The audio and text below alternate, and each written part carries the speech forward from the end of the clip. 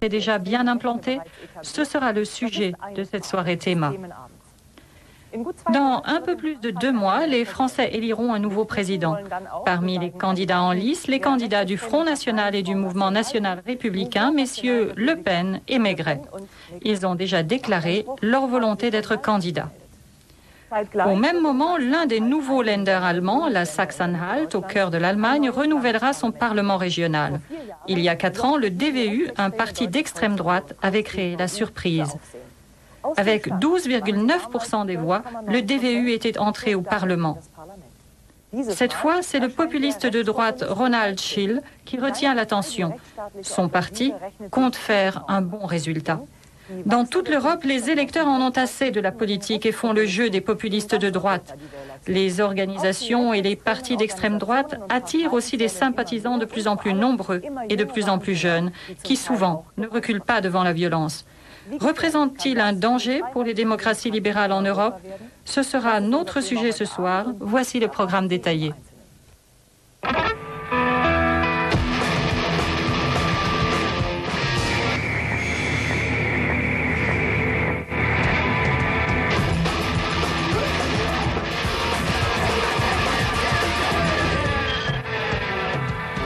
Les milieux d'extrême droite semblent sûrs de leur victoire.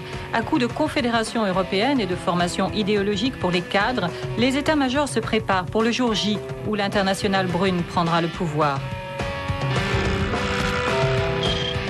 Un exemple, l'Italie. Le vice-président du Conseil est un néo-fasciste. La petite fille de Mussolini est députée et l'on va en pèlerinage sur la tombe du dictateur. Un portrait des héritiers du Duce. Faut-il interdire ou engeler Pour se défendre, les démocraties peuvent recourir à l'arme ultime, l'interdiction du parti. Mais comment réagir? Le débat en Allemagne est aussi ancien que la République fédérale et repart de plus belle depuis l'affaire des taupes. L'autre solution Aider les jeunes à sortir de ces milieux. Mais ce n'est pas facile, car il existe bien des techniques diaboliques pour les séduire. Internet, les groupes de musique fascisants, le sentiment d'appartenance, la camaraderie. Des jeunes repentis racontent. Si vous voulez en savoir plus sur le sujet, rejoignez-nous sur le site internet d'Arte pour débattre avec nous du risque réel de l'extrémisme de droite.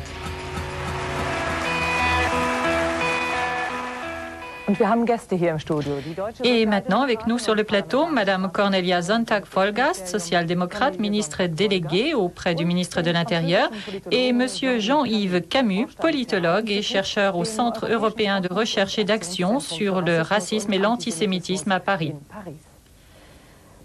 La nouvelle droite est en marche, et pas seulement en Allemagne, où l'électorat potentiel de l'extrême droite est supérieur à ce que laissent penser les sondages. En Autriche, le FPE, parti populiste de droite de Jörg Haider, fait encore mieux avec 27% des voix lors des dernières élections. En Italie, Silvio Berlusconi règne en maître et en France, le Front National faisait, avant la scission du parti, jusqu'à 15% des voix. En Belgique et au Danemark, les partis d'extrême droite font aussi de bons scores. Et dans l'ombre, c'est un travail intense qui s'effectue. Des cercles secrets préparent le plan X dont l'objectif est de renverser au niveau international les systèmes démocratiques.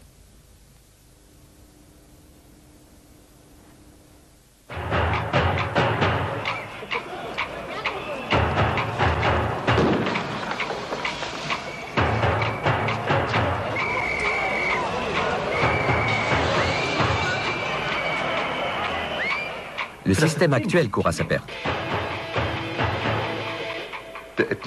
La guerre ethnique fait rage dans notre pays.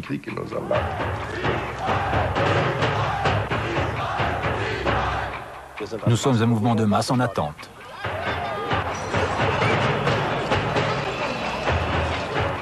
Nous voulons perpétuer la race blanche sur ce territoire.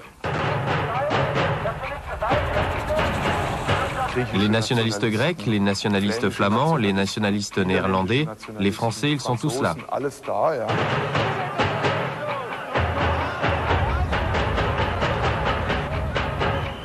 Nous attendons le jour J.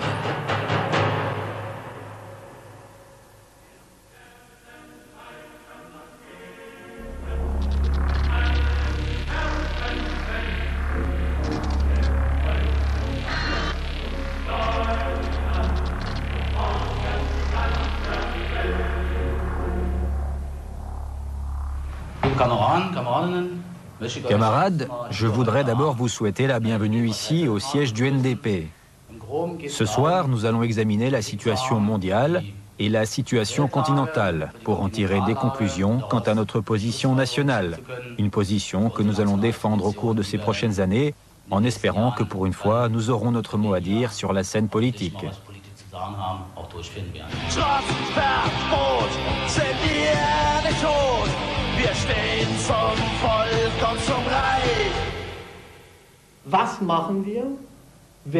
Que deviendrons-nous lorsque les peuples étrangers, les grandes races, auront quitté leur territoire d'origine pour rejoindre une Europe qui se vide de plus en plus.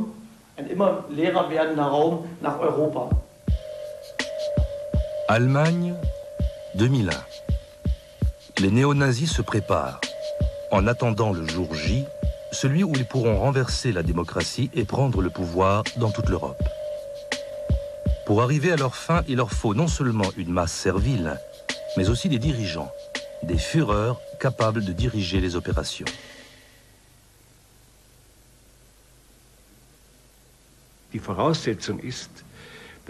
Il faut commencer par rassembler au moins 2000 meneurs d'hommes sur le sol allemand. Des individus capables de convaincre d'autres personnes de la justesse de leur projet, à l'écrit comme à l'oral. Ce travail est en cours. L'organisation actuelle est calquée sur celle du Troisième Reich, avec les jeunesses hitlériennes et tout le reste. Qu'adviendra-t-il des Européens si nous nous ouvrons à l'Asie Si nous acceptons la Turquie au sein de l'Union européenne. Vu que le Proche-Orient fait partie de l'Asie, cela reviendrait en réalité à accueillir des personnes originaires d'autres cercles culturels et d'autres espaces ethniques. Et cela n'est pas forcément bon pour notre peuple et notre culture, car les races évoluent séparément depuis des millénaires.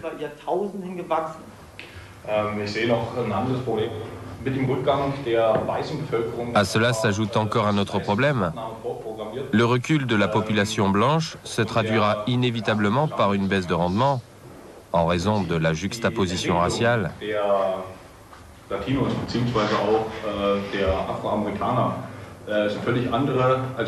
Car le degré de performance des latinos ou des afro-américains ne peut en aucun cas être le même que celui d'une population majoritairement blanche.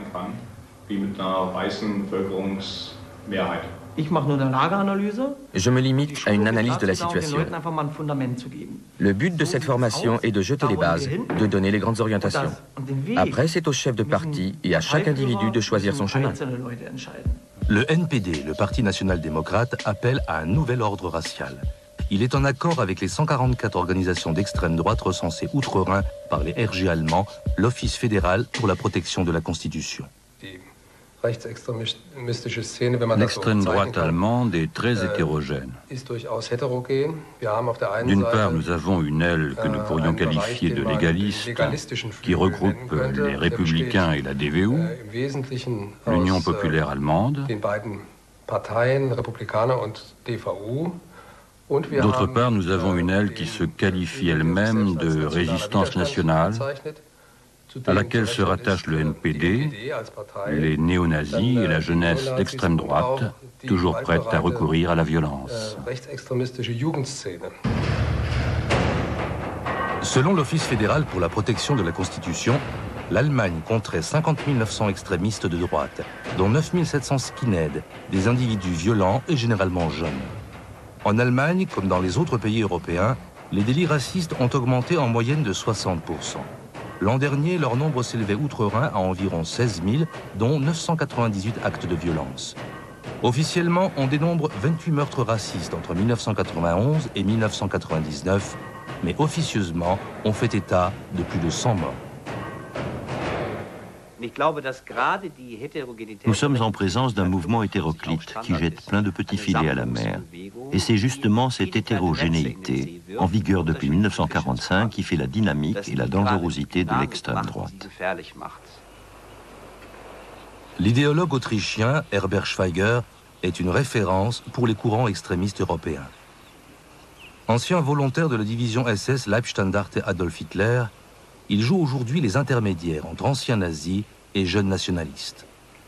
Ces mises en garde contre les dangers supposés du métissage figurent en bonne place dans la petite bibliothèque néo-nazie.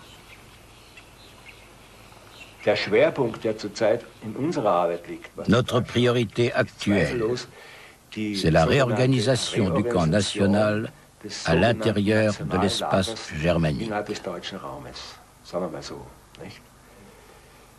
C'est aussi à cette tâche que je consacre toute mon énergie.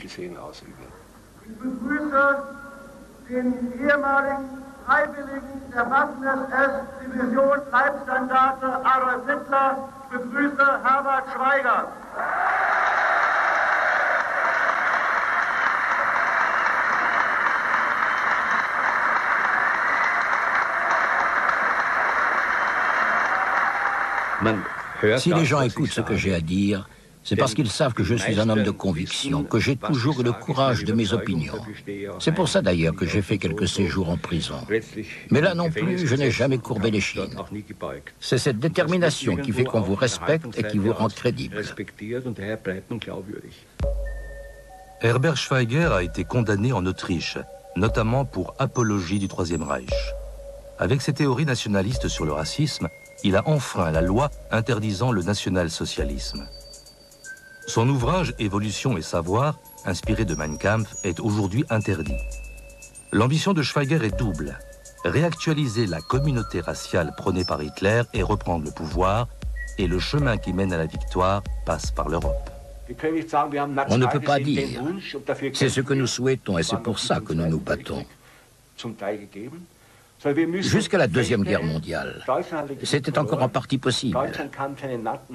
Mais maintenant, nous devons nous rendre à l'évidence. L'Allemagne a perdu la guerre. L'Allemagne ne peut plus imposer ses nostalgies et ses désirs nationaux avec les mêmes méthodes que sous le Deuxième ou le Troisième Reich. Elle doit tenir compte de la situation actuelle sur le continent européen et de l'équilibre des forces et dire que l'Allemagne contribue à la sécurité européenne, comme elle l'a fait depuis toujours, mais dans un autre contexte.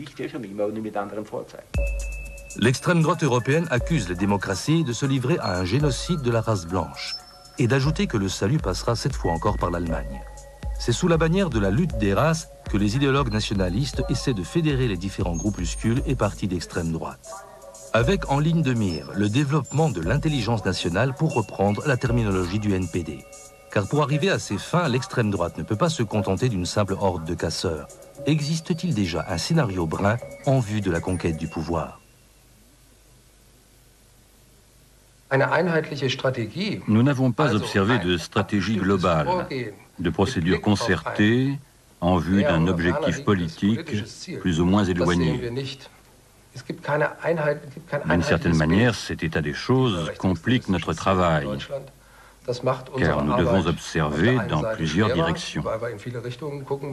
D'un autre côté, nous ne sommes pas confrontés à une force politique unifiée, ce qui est un avantage. Reste à espérer que les propos du patron des RG allemands ne seront pas contredits par les faits.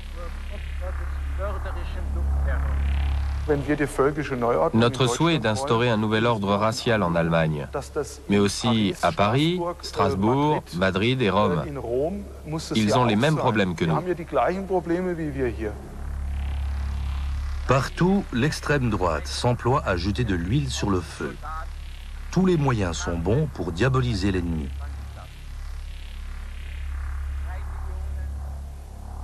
La prise de parole précède la prise de pouvoir au sens intellectuel et politique. Il faut lancer des pics, briser les tabous, il faut investir les lieux où nos ennemis se réunissent et essayer d'imposer leurs arguments. Il faut contre-attaquer, il faut ruer dans les brancards, et l'ennemi réagira dans le sens que nous souhaitons. Il me paraît normal que nous reprenions certains de nos principes de base dans notre discours officiel, dans notre propagande, de manière à être compris par la masse ou un certain pourcentage de celle-ci. C'est un discours très différent. L'idéologue Horst Mahler fait aujourd'hui cause commune avec l'ancien nazi Herbert Schweiger. Ancien avocat de la RAF, Il assure la défense du NPD dans le cadre de la procédure visant à l'interdiction du parti. Il a pour mission de recruter des cerveaux, tandis que d'autres s'occupent des gens de la rue. Mon domaine, ce sont les relations publiques, c'est-à-dire le contact direct dans la rue, la mobilisation des masses. Il faut commencer par se faire connaître avant d'être aimé. Cette étape franchie, on peut commencer à transmettre des idées, à séduire les gens. Non pas les troupes qui nous sont déjà acquises, mais les personnes extérieures à notre mouvement. Tantôt, les gens approuvent certains aspects de notre patrimoine idéologique, mais ils ont du mal avec d'autres. Tantôt, ils se trouvent dans une situation où ils ne peuvent afficher librement leur opinion, à cause de la pression sociale. Pour attirer de nouveaux sympathisants dans leur filet, les extrémistes de droite n'attisent pas seulement la haine de l'autre. Ils se drapent aussi de préoccupations sociales. Groupe cible, les exclus de la croissance, dont le nombre ne cesse d'augmenter et qui ne se sentent plus représentés par les partis traditionnels. Il faut se poser la question suivante. Quels sont les créneaux où l'on ne risque pas de rencontrer le camp adverse, où l'on peut dire je suis bien meilleur La question des étrangers, c'est le créneau total. Les autres partis ne s'en occupent pas. Dans les années 70, le NPD a évoqué pour la première fois la perte de l'identité nationale dans le cadre de sa campagne pour les élections au Landtag de Bavière. Cette expression est ensuite passée dans le vocabulaire courant. Chacun d'entre nous y associe quelque chose. Elle évoque la différence, la non-appartenance à un groupe. Et ça, c'est déjà une mini-révolution, car les gens disposent maintenant de concepts qui les obligent à penser selon certains schémas. Je vais vous citer un autre concept qui commence à dépasser le cadre du NPD et du mouvement national, celui d'économie patriotique. Peut-être arrivera-t-il un jour au même stade que l'expression perte de l'identité nationale. Alors qu'il n'en espérait pas tant, le NPD a réussi à faire en sorte que toute personne qui voit un noir en Allemagne en fasse automatiquement un étranger par association d'idées. Burkhard Schröder étudie depuis plusieurs années les stratégies des nationalistes. C'est surtout parmi la jeune génération que le mouvement national cherche à recruter. Aussi les stratèges se concentrent-ils sur la question suivante. Quelles sont les combines susceptibles de séduire les jeunes, une population encore malléable et influençable? Le combat pour la réalisation de nos idéaux c'est la génération de nos petits-enfants qui devra le mener.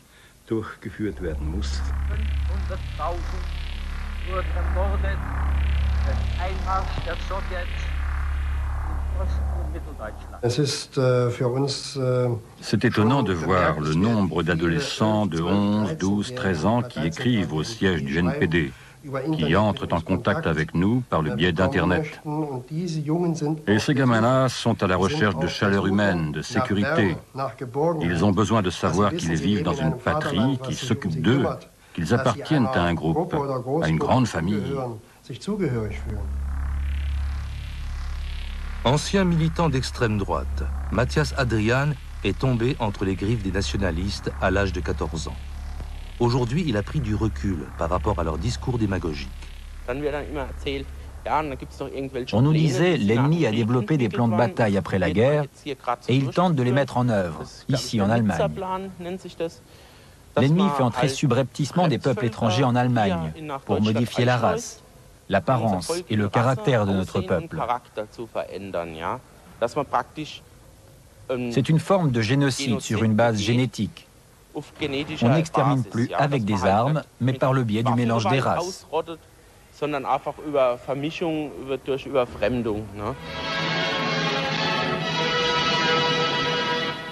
Hier ist Radio Germania, das Radio für nationale Interessen. Endlich ist es wieder soweit und wir sind wieder für euch auf Sendung. Alle Hetze, Verleumdungen und Verfolgungen sind für uns nur Ansporn, weiter für die Wiederherstellung des Deutschen Reiches ungebrochen einzutreten. L'extrême droite cherche à séduire la jeunesse par tous les moyens. Pour entrer dans les chambres d'enfants, le chemin le plus court, c'est encore Internet. Pas étonnant donc que le nombre de sites d'extrême droite en Europe ait littéralement explosé, passant de 1 à 3 000 en 5 ans. En Allemagne, la plupart des pages sont illégales, Mais en faisant un détour par les États-Unis, il est facile d'accéder à toute la propagande nationaliste. On ne peut propager un national-socialisme moderne que si l'on tient compte du comportement des jeunes face aux médias. Et le comportement des jeunes est tel que l'on peut faire passer pas mal de choses par le biais de la culture pop, de l'iconographie subculturelle, des symboles. Les milieux extrémistes de l'Est se sont arrangés pour que l'emblème des skinheads, qui appartenait il y a encore 30 ans à la culture ouvrière, soit associé à l'extrême droite.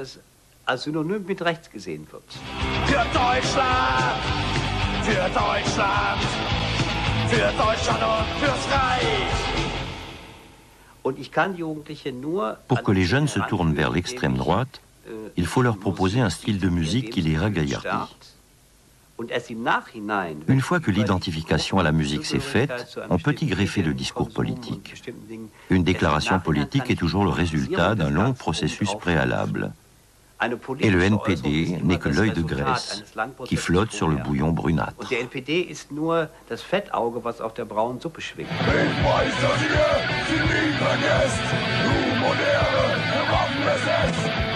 Les groupes de musique skinhead, qui sont aujourd'hui plusieurs centaines, ne se contentent pas de vendre leurs CD sur le net.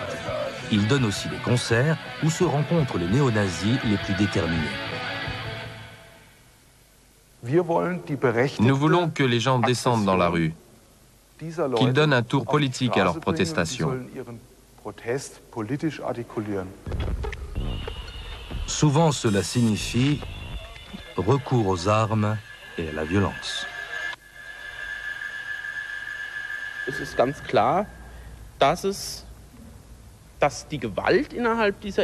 Dans cette idéologie, la violence n'a rien de négatif, car elle est l'ultime recours pour imposer ses revendications.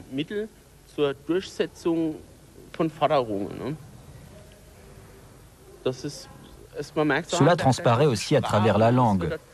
Il est sans cesse question de soldats politiques, de troupes, de sport de combat, de sport militaire. En clair, la violence est une façon légitime d'atteindre son objectif.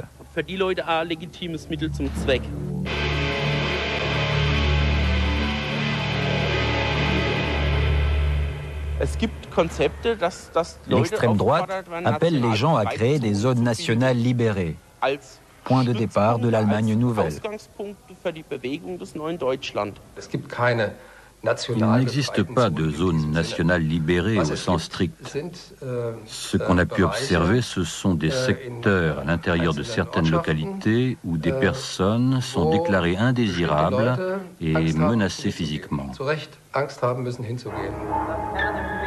Pourtant, cela correspond exactement à la définition de la zone nationale libérée dans le jargon néo-nazi. Un premier succès inquiétant qui s'inscrit dans le cadre d'une stratégie pan-européenne. Force est de constater que nos voisins européens s'inspirent de l'Allemagne. C'est quelque chose que l'on sent. C'est quelque chose que l'on perçoit à travers des conversations avec nos amis étrangers. S'il en est ainsi, c'est parce que c'est dans la philosophie allemande que l'idée de liberté et l'idée de communauté raciale, qui sont une seule et même chose, sont exprimées avec le plus d'acuité. Le, danger euh, d'une euh, internationale d'extrême droite, telle qu'elle cherche à se constituer de longue date, c'est qu'effectivement, c'est un même projet qui unit ces gens-là, qu'il s'agisse du Vlansblog, du NPD, du, MNR en France. Euh, ce c'est, le même projet ethnique d'une Europe des ethnies, répudiant le mélange, le mélange des, Reims, d'une Europe blanche, pour reprendre leur terminologie. C'est, tel est leur fantasme. Les nationalistes d'Europe rejettent catégoriquement l'Union européenne. Ce qu'ils veulent, c'est une Europe des régions, capable de riposter à l'invasion des autres ethnies. Les extrémistes de droite l'affirment, une guerre culturelle pour la préservation des espaces vitaux raciaux est en cours. Le NPD, par exemple, appelle à la restauration du Reich allemand, mais lui aussi pose comme préalable la révolution européenne. Un jour viendra où les hommes et les personnalités se lèveront par amour et pour avoir trop souffert. Ce sont alors les peuples qui prendront le pouvoir et qui écraseront l'establishment. De deux choses l'une. Soit c'est l'establishment qui exterminera les peuples, soit ce sont les peuples qui extermineront l'establishment. En Europe, les succès de l'extrême droite ne peuvent plus être ignorés. En France, par exemple, le MNR soigne ses relations avec ses homologues européens c'est qu'il y a euh, une puissance, euh, une puissante euh, montée en force des mouvements de droite en, Europe. je pense bien sûr aux cas les plus spectaculaires de ces dernières années, à savoir l'Autriche, à savoir l'Italie avec M. Berlusconi, M. Fini, l'Autriche avec M. Haider, mais aussi je considère que ce qui se passe en Espagne avec M. Aznar bah, montre que nos idées sont dans une démarche euh, très, euh, très puissante, qu'il y a un courant historique, et c'est aussi ce qu'on observe dans le nord de l'Europe, en Scandinavie, également en Belgique avec le, le et puis ici, bien sûr, avec différents mouvements euh, en Allemagne. Le monde s'est rétréci. Si autrefois il pouvait exister une opposition entre l'Allemagne et l'Italie, entre les représentants de l'Europe du Nord ou de l'Europe centrale et les représentants de l'Europe du Sud, aujourd'hui il s'agirait plutôt d'une opposition entre l'Europe et l'Asie mineure, entre l'Europe et l'Asie du Sud-Est, ou entre l'Europe et l'Afrique.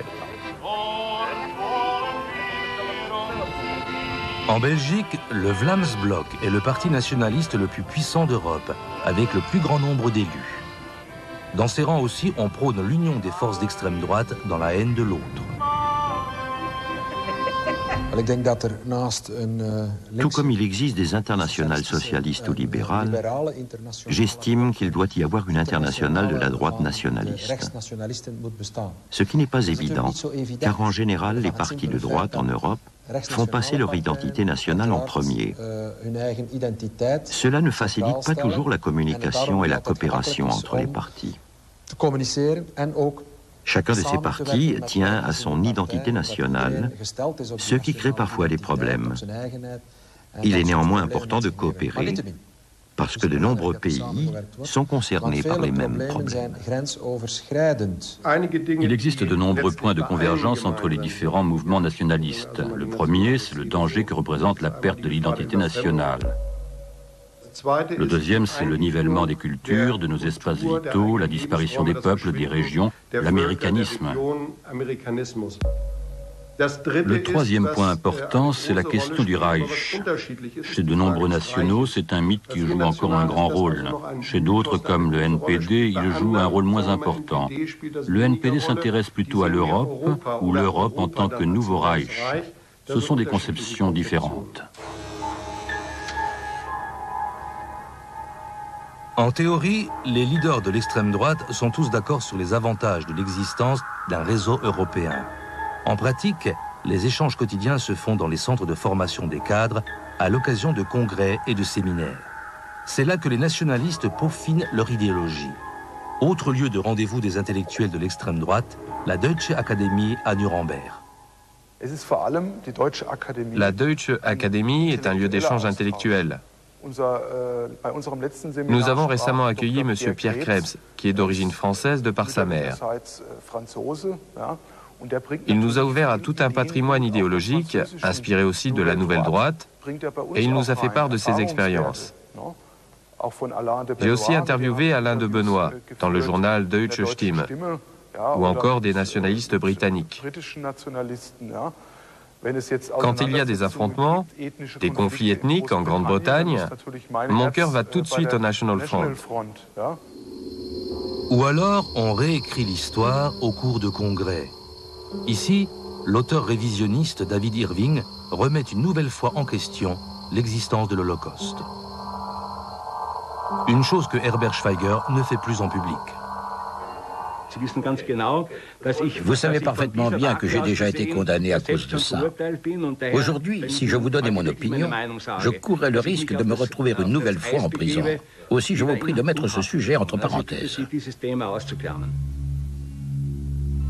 Là encore, on est confronté à un mélange de cynisme et de racisme ciblé. La propagande est claire. Les étrangers constituent un problème national. Les extrémistes européens affirment d'une même voix que la seule solution, c'est de les renvoyer dans leur pays. Nous devons faire comprendre aux gens qui veulent vivre chez nous selon leur religion et leur culture qu'ils doivent retourner dans leur pays d'origine, tout en procédant d'une façon humaine et accompagnatrice. C'est une question de capacité de transport. Je ne veux pas faire d'allusion historique, loin de moi cette idée, mais il faut vous imaginer les choses de la manière suivante. Si on me donne le pouvoir politique, l'appareil politique, ainsi que la police, l'armée, l'administration et tout ce qui va avec, alors un jour ou l'autre, les contrats de travail de certains groupes ethniques arriveront à échéance, de même que les contrats de location. Je ne suis pas allé les chercher. De là, il n'y a qu'un pas à franchir pour en arriver à la solution finale. Le mot déportation n'apparaît jamais sur les lèvres des idéologues, on soigne son image de bon nationaliste.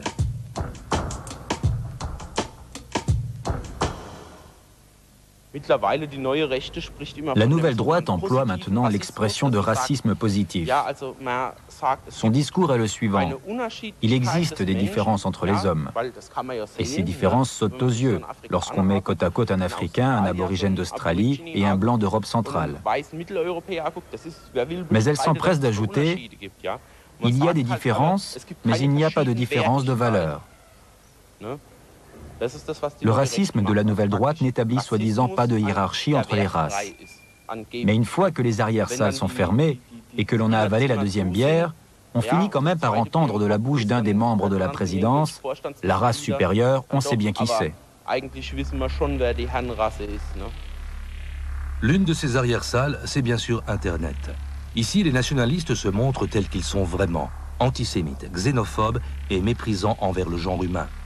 Et la haine rapporte. Le merchandising nazi constitue une importante source de revenus. Le matériel de propagande est fabriqué en Scandinavie et en Europe de l'Est. Sur la toile, on trouve de tout. Ouvrages révisionnistes, listes noires, appels au meurtre. Les néo-nazis d'Europe se sont regroupés pour contourner les barrières imposées par les gouvernements démocratiques. Sur Internet, les marchands de racisme et leurs clients ont depuis longtemps dépassé le cadre national. Ce que vous ne pouvez pas fabriquer, commercialiser ou consulter en Allemagne, vous pouvez l'obtenir par le biais d'Internet. Je clique et je me retrouve sur un site auquel je ne pourrais jamais accéder en Allemagne. J'arrive en France. Je peux entrer en contact avec des Français ou des Espagnols. Je n'ai même pas besoin de parler leur langue parce qu'il y a un logiciel de traduction. Vous comprenez, nous allons les uns vers les autres.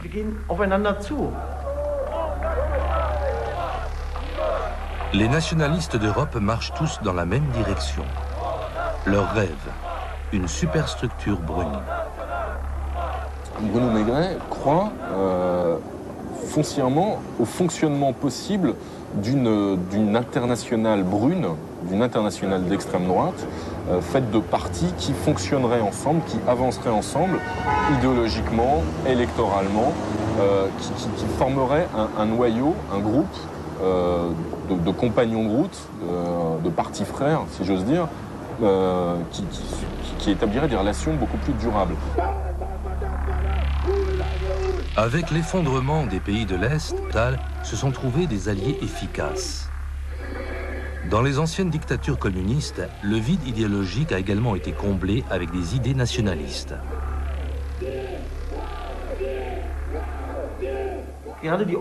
L'élargissement à l'Est et surtout l'ouverture sur la Russie, je trouve ça passionnant. Ça nous a donné un coup de fouet. Contrairement à nous, les gens de l'Est ne se compliquent pas la vie. Ils n'usent pas forcément de tactique. Ils sont sincères et droits. Ils sont vraiment enracinés dans leur patrie. Ils n'ont pas peur de s'affirmer et de se montrer tels qu'ils sont. Si nous baissons les bras, si nous persistons dans notre style de vie décadent et dans notre attitude désabusée, alors nous sommes perdus. Le problème, c'est que nous n'avons plus d'esprit communautaire, c'est que nous ne sommes plus capables de sacrifice. Si nous continuons ainsi, alors les peuples sains nous écraseront purement et simplement. Sur les 1 milliard 300 millions de Chinois, 94% sont des Han. D'un point de vue génétique, c'est une population très homogène, l'instinct très sûr. Les Chinois, eux, ne se laisseront jamais internationaliser.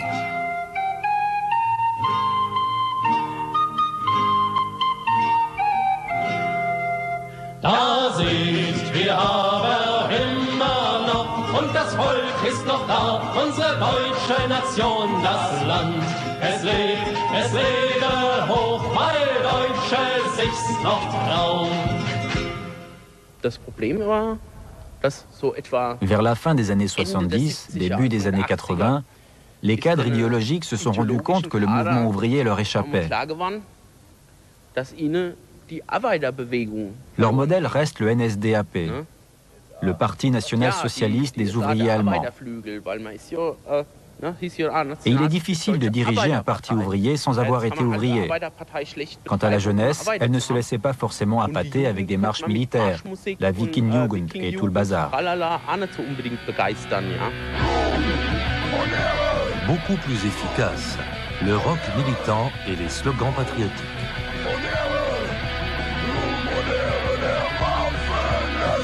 Les propagandistes néo-nazis font croire à des jeunes sans perspective claire qu'en optant pour l'extrême droite, ils rejoignent le camp des vainqueurs.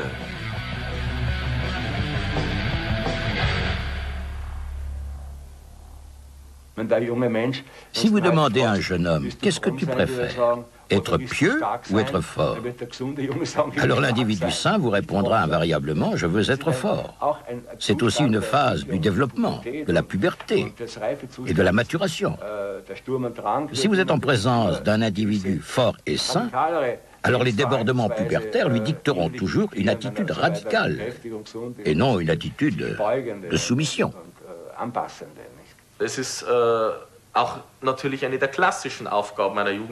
L'un des objectifs traditionnels des organisations destinées à la jeunesse est de favoriser la socialisation des jeunes et de remplir une mission pédagogique. Nous nous efforçons d'améliorer l'image des jeunes nationalistes ce qui nous oblige parfois à résoudre la quadrature du cercle, à faire le grand écart. Ceux qui n'ont pas de cheveux sur le crâne, ceux qui portent des cheveux longs, ceux qui ont des mèches de couleur, doivent tous avoir la possibilité de se resocialiser chez nous.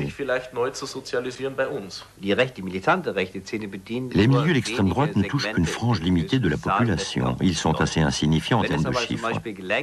Mais s'ils réussissaient à trouver un plus large écho, comme l'a fait On peut penser ce que l'on veut de Heider, mais il a quand même réussi à faire admettre certaines idées qui, au départ, n'avaient droit de citer qu'au sein de certains groupes marginaux. Alors l'extrême droite ne serait plus aussi radicale. Elle obtiendrait le concours d'un plus grand nombre de sympathisants.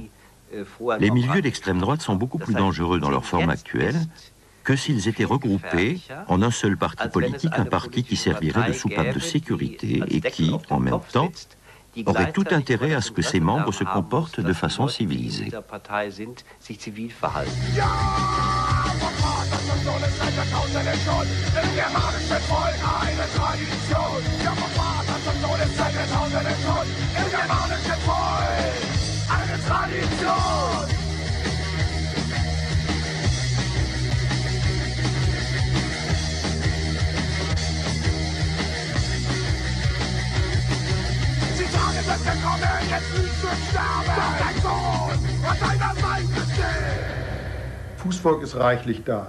Nous avons assez de fantassins. Les thèmes nationalistes rencontrent un très vif succès, surtout parmi les jeunes. La situation était différente il y a 20 ans. L'idée de Reich, la perte de l'identité nationale, tout cela joue un très grand rôle parmi les jeunes gens. Le problème, c'est que nous manquons de fureur sur le territoire national. Je précise que j'emploie le mot fureur dans le sens ordinaire de dirigeant.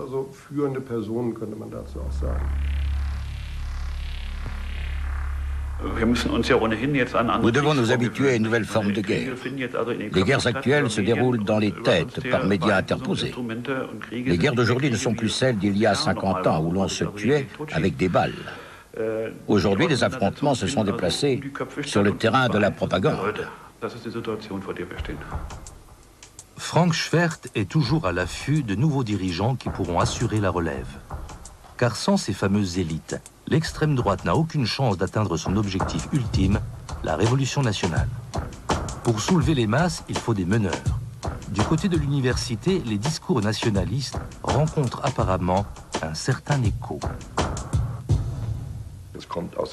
C'est dans la logique des choses que des jeunes gens avec un certain niveau intellectuel prennent conscience du problème et disent Ce que j'ai cru jusqu'à présent, c'est complètement faux. Nous courons à notre perte. Ils veulent rencontrer d'autres personnes et ils prennent contact avec nous. La Deutsche Academy se situe au-dessus des partis. C'est une structure créée par et pour les nationalistes.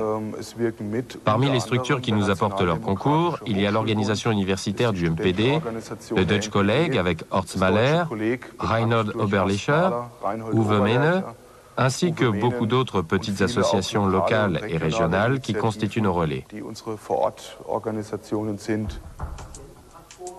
L'Allemagne rêvée par l'extrême droite n'a pas grand-chose à voir avec l'Allemagne de la Constitution. Pendant les séminaires de formation, les idéologues néo-nazis rabâchent que la démocratie est en pleine déconfiture. À cela, le NPD oppose un projet d'organisation étatique qui se veut alternatif. Nous essayons de leur transmettre les notions élémentaires, de leur donner une sorte de kit qui est indispensable pour le travail politique et théorique. En même temps, nous essayons de développer leur sens de la psychologie. La politique, c'est aussi établir une relation entre deux hommes. Et nous devons essayer de clarifier ce processus interpersonnel pour mieux le comprendre, car c'est justement dans ce domaine qu'il y a de grosses lacunes.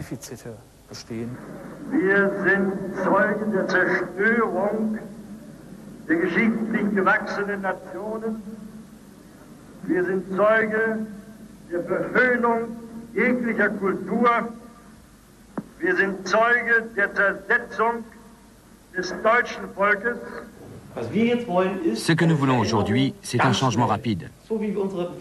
Que ce soit pour la mobilisation des masses ou la formation des élites, le contenu reste le même.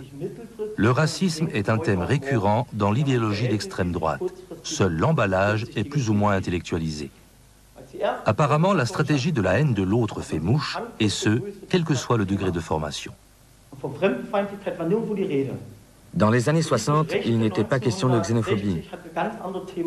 Les nationalistes de l'époque avaient d'autres priorités. Ils n'étaient pas confrontés à la même situation que les nationalistes d'aujourd'hui. Quand je traverse Kreuzberg, je me demande où est passée mon identité. En attendant le jour J, l'extrême droite s'organise. Cela va des milices au recrutement, en passant par la formation des cadres. En raison de son succès électoral, le Vlaamsblok est déjà plus avancé dans sa réflexion. Il ne suffit pas d'avoir le pouvoir politique dans une mairie ou dans un gouvernement. On doit aussi pouvoir réaliser ce changement de mentalité et de gestion jusqu'au plus bas niveau. Et pour cela, on a un besoin absolu d'implantation, d'enracinement. L'extrême droite française compte ses troupes en vue d'une guerre civile à laquelle tous les nationalistes d'Europe croient dur comme fer. J'évalue la capacité du MNJ à se mobiliser sur un certain nombre de, manifestations à environ 2000 militants qui régulièrement, de près ou de loin, suivent notre activité. Mais un tout petit peu plus de 1000 adhérents, avec donc 70 euh, responsables départementaux et 22 responsables régionaux. Pour l'instant, les nationalistes allemands affirment encore qu'ils vont arriver au pouvoir par des moyens légaux. En réalité, ils attendent le jour où ils pourront remplacer la démocratie par un régime totalitaire. Objectif, le quatrième Reich. La situation peut basculer du jour au lendemain. Il suffit d'une étincelle, d'une rébellion politique, et ça marchera tout seul. Ces changements peuvent se produire aujourd'hui comme dans dix ans, mais je pense que d'ici deux à cinq ans, les choses auront déjà changé de manière décisive. Et pas seulement en Allemagne. Toute l'Europe connaîtra la révolution.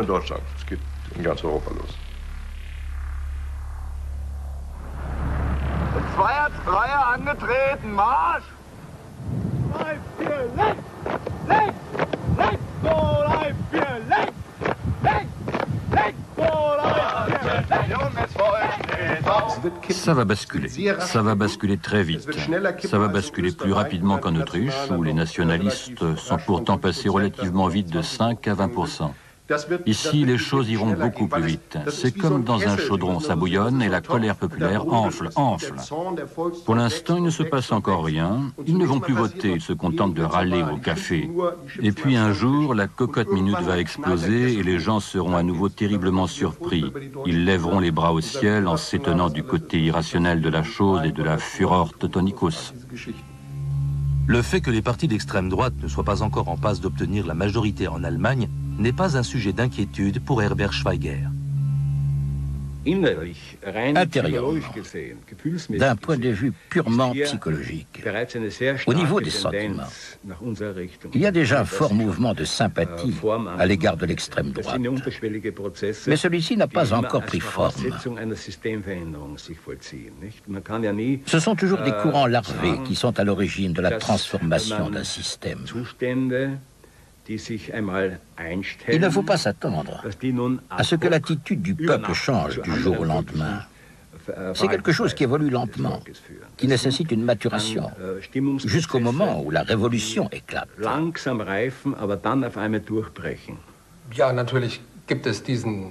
Les nationalistes ont exprimé à plusieurs reprises leur désir d'écraser la démocratie.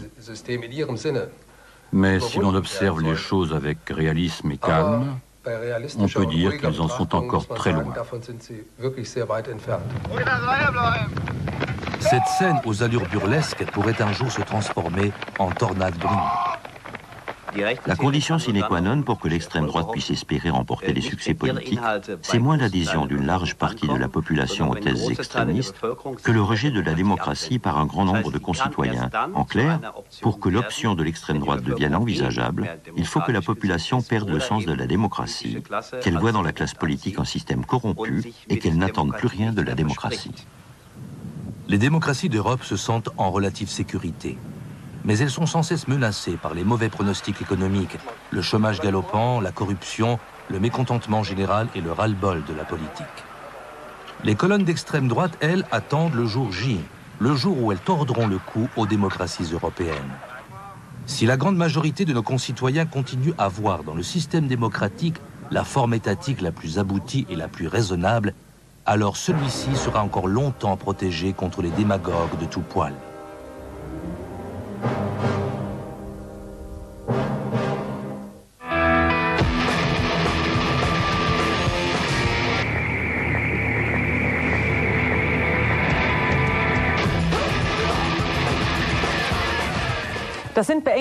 Voilà des perspectives bien sombres pour l'Europe, mais il ne faut pas se contenter de surveiller de près ces complots militants.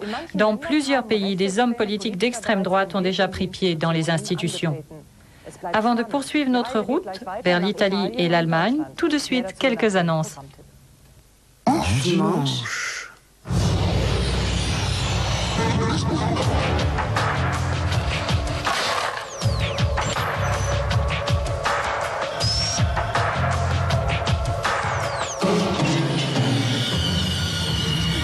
Rien n'est plus pur qu'une rivière de diamants. Rien n'est plus trouble que leur source. Les multiples facettes des diamants dans Théma, dimanche à 20h45.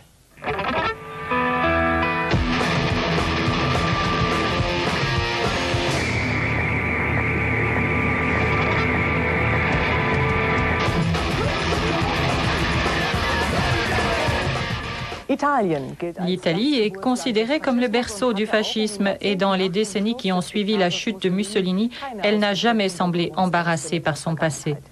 Bien au contraire, depuis 1947, il y a toujours eu en Italie un parti d'extrême droite, le Movimento Sociale Italiano, qui faisait 4 à 7% des voix. Depuis mai 2001, c'est Silvio Berlusconi, le magnat des médias, qui dirige le pays. Selon ses détracteurs, c'est le loup dans la bergerie qui vend brillamment des idées populistes de droite. Il gouverne d'une main de fer son empire économique en s'emparant sans cesse de nouvelles chaînes de télévision et il étend même son contrôle à la RAI, qui est pourtant une chaîne de service public relativement indépendante. Mais certains pensent que Fini, le second de Berlusconi, est encore plus dangereux. Il est connu comme étant un fidèle admirateur du Duce et il soutient tout particulièrement sa petite fille, Alessandra Mussolini, qui est une personnalité politique connue.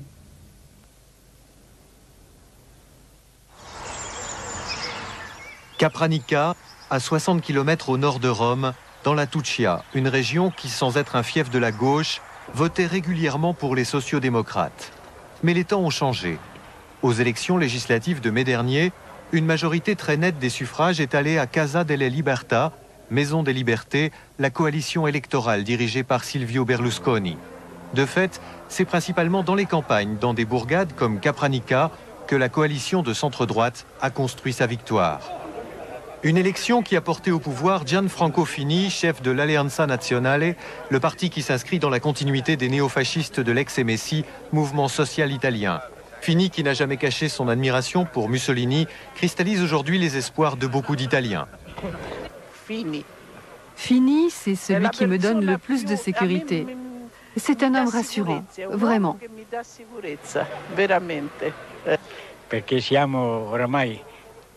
Nous en avons assez du centre-gauche et de ce qu'ils ont fait.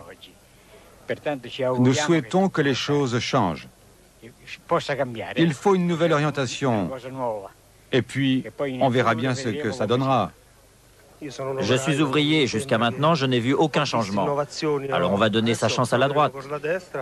Je suis partisan de l'Alleanza nationale depuis toujours et j'espère qu'ils ne nous décevront pas à leur tour. Fini a été premier secrétaire du MSI. En 93, le parti, soucieux de se débarrasser de ses relents fascistes, fait peau neuve et s'auto-baptise Alleanza Nazionale. Nous ne sommes pas un sujet de préoccupation pour l'Europe, non, mais plutôt pour la gauche européenne. Et à l'heure actuelle, comme la gauche italienne rencontre quelques difficultés, il est naturel que ses alliés européens la soutiennent. La passation de pouvoir. Le 11 juin dernier, Giuliano Amato abandonne son fauteuil de président du Conseil à Silvio Berlusconi. Pour les plus pessimistes, le carillon officiel, symbole du pouvoir, sonne le glas de la démocratie italienne. Gianfranco Fini obtient le poste de vice-président du Conseil, une position clé au sein du gouvernement grâce à laquelle il compte bien endiguer le flot de l'immigration. Ces attaques contre les immigrés clandestins lui ont valu nombre de suffrages. En lieu et place d'un droit de vote accordé aux étrangers d'Italie, il réclame la participation électorale des Italiens résidant à l'étranger pour lesquels il a d'ores et déjà imposé la création d'un ministère. Fini, désormais membre du gouvernement, siège aux côtés d'Umberto Bossi de la Lega Nord, la Ligue du Nord, tout aussi xénophobe, mais dont la principale revendication est la dissolution de l'État italien.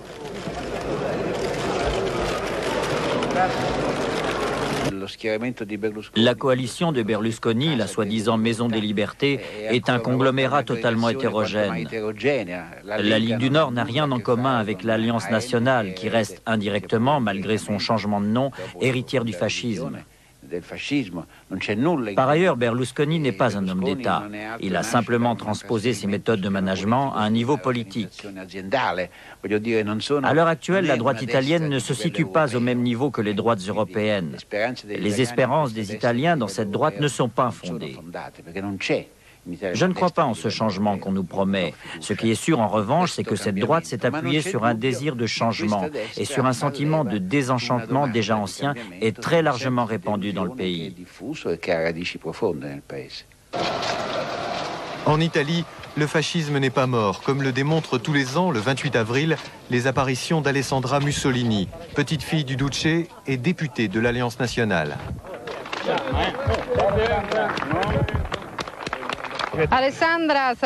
Alessandra sera députée du nouveau Parlement de la Deuxième République. 50 ans après, il y aura de nouveau un membre de la famille Mussolini, non seulement au Parlement, mais aussi au gouvernement.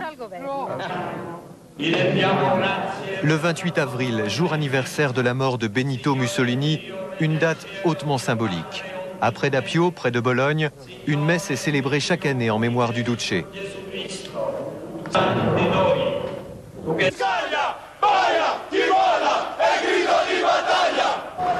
Au bourreau, ceux qui ne se battent pas. Au cri de cette ancienne devise mussolinienne, des néo-nazis, appelés naziskin en Italie, défilent dans les rues de Vérone. En Italie du Nord, les nazis ont le vent en poupe et entretiennent des liens étroits avec leurs semblables en Autriche, Allemagne ou Suisse.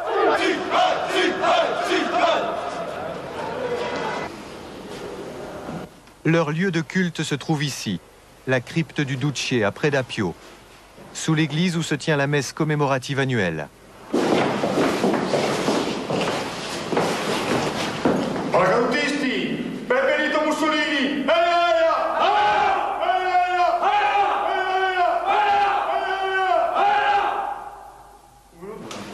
Le tombeau du dictateur devenu lieu de pèlerinage.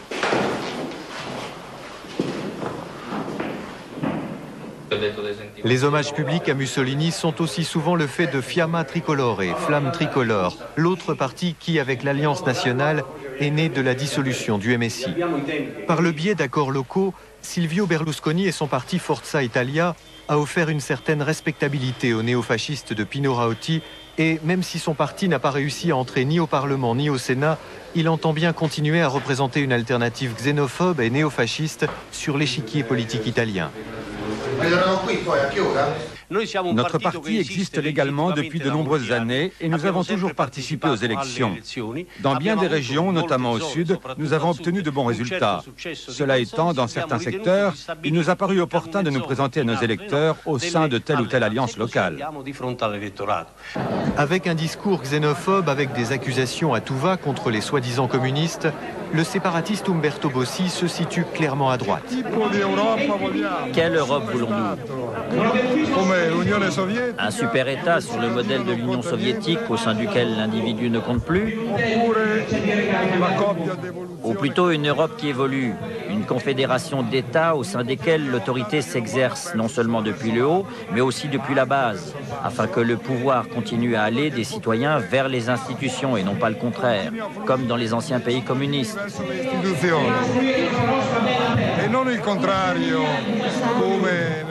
Je ne suis pas l'ennemi de la démocratie.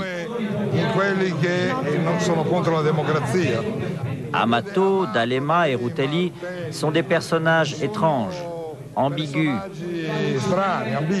à l'image des anciens dictateurs du monde communiste. Pour Berlusconi, contenir le trublion Bossi tout en contrôlant Gianfranco Fini de l'Alliance nationale sera une tâche plutôt délicate. L'euphorie des lendemains de victoire électorale est rapidement retombée. Jusqu'à présent, Berlusconi a pu gérer sa maison des libertés dans une relative sérénité. La forte majorité dont sa coalition dispose au Parlement et au Sénat lui donne une certaine marge de manœuvre vis-à-vis des extrémistes. Pourtant, ses amis de droite veulent être entendus. De plus, Berlusconi n'a encore pris aucune initiative personnelle, notamment à l'égard d'une Europe qui observe pourtant ses moindres faits et gestes avec une attention teintée de suspicion. Il semble pour l'heure que le Cavaliere poursuive surtout une œuvre entamée il y a sept ans, à savoir favoriser son propre empire économique par le biais de ses décisions politiques. Déjà, la falsification de bilan économique n'est plus en Italie un délit passible de prison.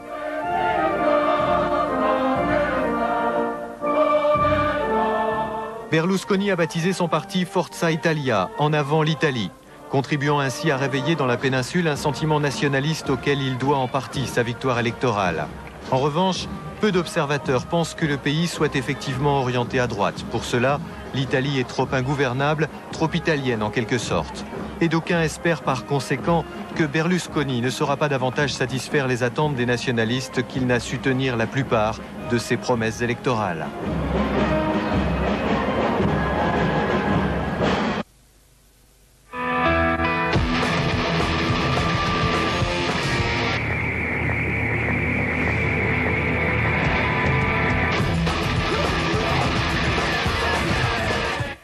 À la différence de l'Italie, l'Allemagne est plus prudente dans ses rapports avec le phénomène de l'extrême droite.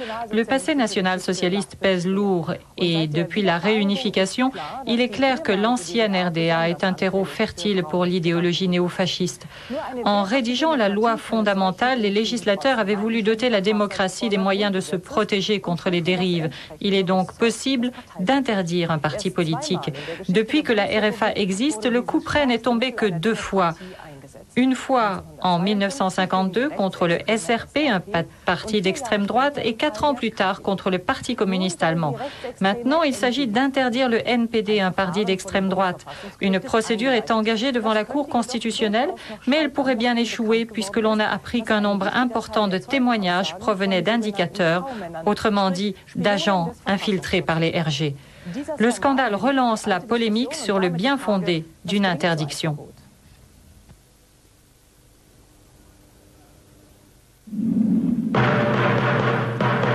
La bête immonde s'est réveillée en Allemagne, tambour battant et fanion au poing.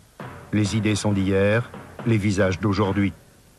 Les néo-nazis du NPD se grisent de leur mise en scène et le sang se glace dans les veines de la société allemande. Les politiques somment le gouvernement d'interdire ce parti jugé agressif. Ce sera insuffisant. l'Allemagne est engagée dans une controverse au sujet des formations d'extrême droite qui est loin d'avoir trouvé son terme.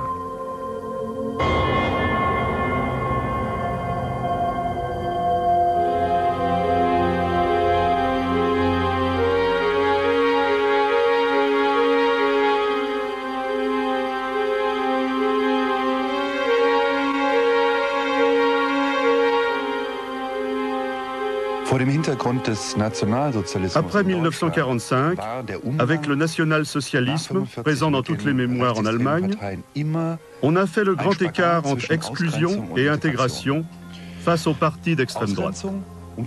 Exclure signifie interdire, faire pression en se réfugiant derrière la Constitution, agir contre certains membres, refuser de mettre des salles de réunion à la disposition des partis politiques, etc. Intégrer, c'est faire participer les partis d'extrême droite au gouvernement ou admettre des permanents de l'extrême droite dans les partis établis. L'extrême droite agite la scène politique depuis la création de la République fédérale. La fondation de la RFA voit la formation de plusieurs partis d'extrémistes de droite. Les adhérents se posent en victimes de la nouvelle situation, un sentiment toujours très en vogue dans les rangs de l'extrême droite. Les sympathies de ceux qui rentraient de la guerre, les anciens soldats déçus qui se sentaient trahis, sont allés massivement au parti de droite. Ils y ont adhéré avec leurs idéaux, leur foi et leur sens du sacrifice. La plupart des partis d'extrême droite sont des nostalgiques du Reich perdu. Le Socialistische Reichspartei, fondé par un suppôt d'Hitler, Otto Ernst Remer, apparaît comme l'un des plus agressifs. D'abord, l'Allemagne se voile la face et ignore ce parti qui affiche ses convictions nazies. En 1952, cependant, le SRP obtient 12% aux élections régionales de Basse-Saxe. L'onde de choc est ressentie durement à l'étranger. Six mois plus tard, le parti est interdit par le nouveau tribunal constitutionnel fédéral sur requête du gouvernement fédéral. Les politiques misent sur une approche mêlant condamnation et rapprochement. Avec le miracle économique et après l'interdiction du SRP, ses sympathisants ainsi que des permanents de formation extrémiste de droite rallient en masse les rangs de la CDU. Les premiers sondages réalisés à la fin des années 1950 ont révélé que pour 60% des Allemands, Hitler était une bonne idée qui péchait par sa mise en œuvre. Toujours dans l'esprit de l'intégration, des permanents des partis de la droite conservatrice ou de l'extrême droite de l'Union ont adhéré à la CDU. De sorte qu'on peut dire que jusqu'en 1961, l'Union et Strauss ont réussi à décimer sensiblement les rangs de sa frange extrémiste, ou du moins à les réduire à néant au plan politique.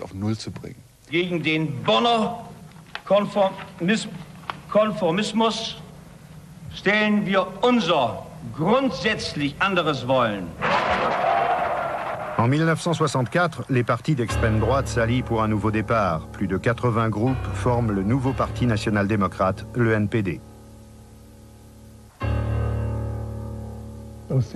Un élan émotionnel, une protestation ou je ne sais quelle soif de romantisme a surgi de l'inconnu, et tout à coup, ils étaient de nouveau là. À Bonn, le gouvernement est aux mains d'une grande coalition du SPD et de la CDU. Les électeurs ont le sentiment que la politique stagne.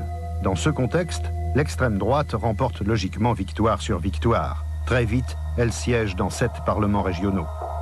Une fois de plus, l'extrême droite incite ses sympathisants à lutter contre le bouleversement social. À la fin des années 60, des étudiants radicaux se sont mis en demeure de réviser la République en profondeur. Un bouleversement auquel le NPD s'oppose violemment. Ses services d'ordre en uniforme affrontent les manifestants aux cheveux longs. Le NPD était un parti opposé à tout ce qui n'était pas germanique, qu'il s'agisse du mode de vie, des cheveux longs des beatniks, de la musique pop américaine ou des formes d'expression politique comme les happenings, les go-in, les sit-in, etc. À ses yeux, tout cela représentait la fin du système de valeurs allemand. Il a trouvé un écho chez tous ceux qui avaient un esprit réactionnaire, qui refusaient cette modernisation. La question de l'interdiction des partis d'extrême droite est de nouveau à l'ordre du jour en Allemagne. À l'été 1968, le NPD a beau être un salmigondi d'idées contradictoires et prôner la violence, La démocratie n'est pas en danger, dit-on.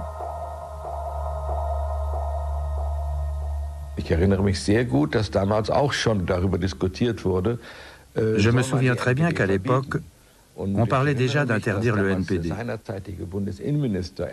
Ernst Bender, alors ministre de l'Intérieur, y était fermement opposé. Il se disait fermement convaincu que la sanction devait venir des électeurs. Il a récolté une volée de bois vert à l'époque. Mais il ne s'est trouvé personne, organisation, parti, autorité fédérale ou gouvernement, pour déposer une requête en interdiction. Plus tard, il s'est avéré que Bender avait eu raison. Lors des élections suivantes, le NPD a décroché très peu de sièges dans les parlements. Comme toujours dans les partis d'extrême droite, les dirigeants ne contrôlent plus les esprits qu'ils ont invoqués. Le NPD ne siège plus dans les parlements régionaux. La grande coalition s'effondre à son tour et la CDU amorce un virage à droite. Tandis que le NPD se réduit à des groupuscules dissidents constitués de jeunes prêts à toutes les violences, l'Union s'applique à enjôler l'électorat de la droite extrême comme 15 ans auparavant. À partir du moment où ils ont eu le sentiment que l'opinion publique pouvait basculer à droite, les partis de l'aile droite se sont engouffrés dans la brèche. L'Union a toujours repris à son compte et interprété les slogans racistes des partis de la frange extrémiste et voté pour limiter l'émigration, notamment quand il est apparu clairement qu'un courant raciste soufflait dans la société. C'était ça l'intégration, la reprise des thèmes. Berlin, 1989, avant la chute du mur. Dans un spot publicitaire du Parti républicain d'extrême droite, des Turcs évoluent sur la musique de l'homme à l'harmonica dans Il était une fois dans l'Ouest. Le caractère résolument xénophobe de la campagne leur rapporte près de 10% des suffrages aux élections régionales. Vingt ans après la chute du NPD, le Parti républicain d'extrême droite remporte des succès sur des thèmes repris en chœur par les partis établis les étrangers et le droit d'asile.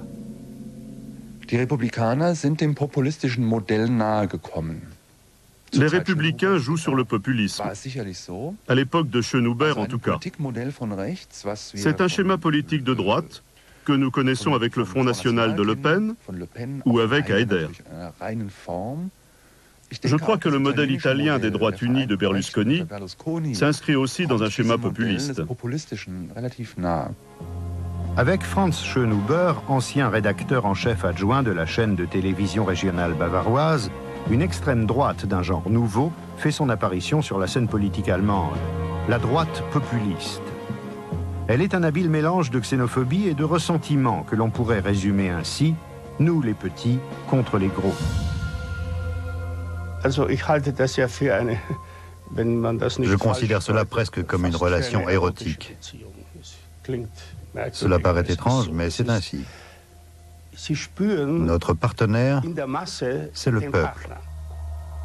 Mais les applaudissements sont terriblement dangereux. C'est un poison et on a tendance à en rajouter. Man mag nicht angreifen, man mag nicht zusammenschlagen, aber man muss mich schon totschlagen, um zu verhindern, dass diese Partei die Partei von Deutschland wird.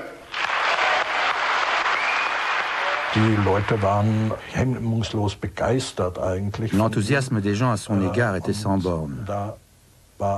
On pouvait parler de culte du Führer. Et Schönhuber n'a rien fait contre.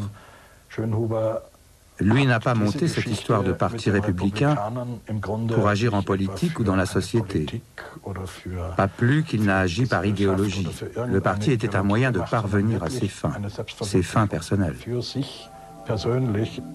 Mais avec le succès viennent les guerres intestines typiques de tout parti politique, et l'extrême droite n'y échappe pas. Son président charismatique en est lui aussi victime. Le parti est irrémédiablement déchiré. Cette année-là, il perd son dernier siège dans un parlement régional. Ces dernières années, un parti d'extrême droite d'un autre genre agite la scène politique allemande. La DVU, l'Union populaire allemande, fondée par l'éditeur munichois Gerhard Frey. À coup de millions, le parti réussit à décrocher deux sièges dans des parlements de nouveaux Länder. La DVU joue un rôle à part. Ce n'est pas un parti à proprement parler. Car il n'a pas de soubassement. Si la DVU existe, c'est parce qu'un mécène, un Bavarois, peut se la payer pour trouver des consommateurs jeunes qui financeront son empire, son journal et ses maisons d'édition. La DVU est en outre diablement démodée. À mon avis, c'est un phénomène marginal, mineur sur un plan historique. La DVU, le parti sans soubassement, réussit en un éclair là où les autres partis de droite ont mis des années à percer.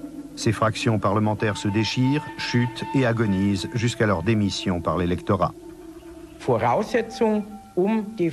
La condition pour être candidat de la DVU est de posséder une dose extrême d'imbécilité, de bêtise, d'apathie. La fraction a pour mission, d'une part, de lire les fax qu'on lui envoie, D'autre part, de détourner vers Munich les cotisations et les impôts.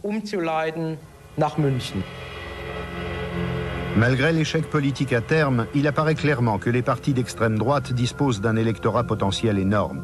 Parmi eux, les opposants aux changements sociaux, les perdants de la société de services moderne, ou encore ceux qui redoutent de perdre leurs privilèges. L'électorat du NPD ou de la DVU et du Parti républicain se recrute aujourd'hui majoritairement chez les hommes actifs de moins de 30 ans.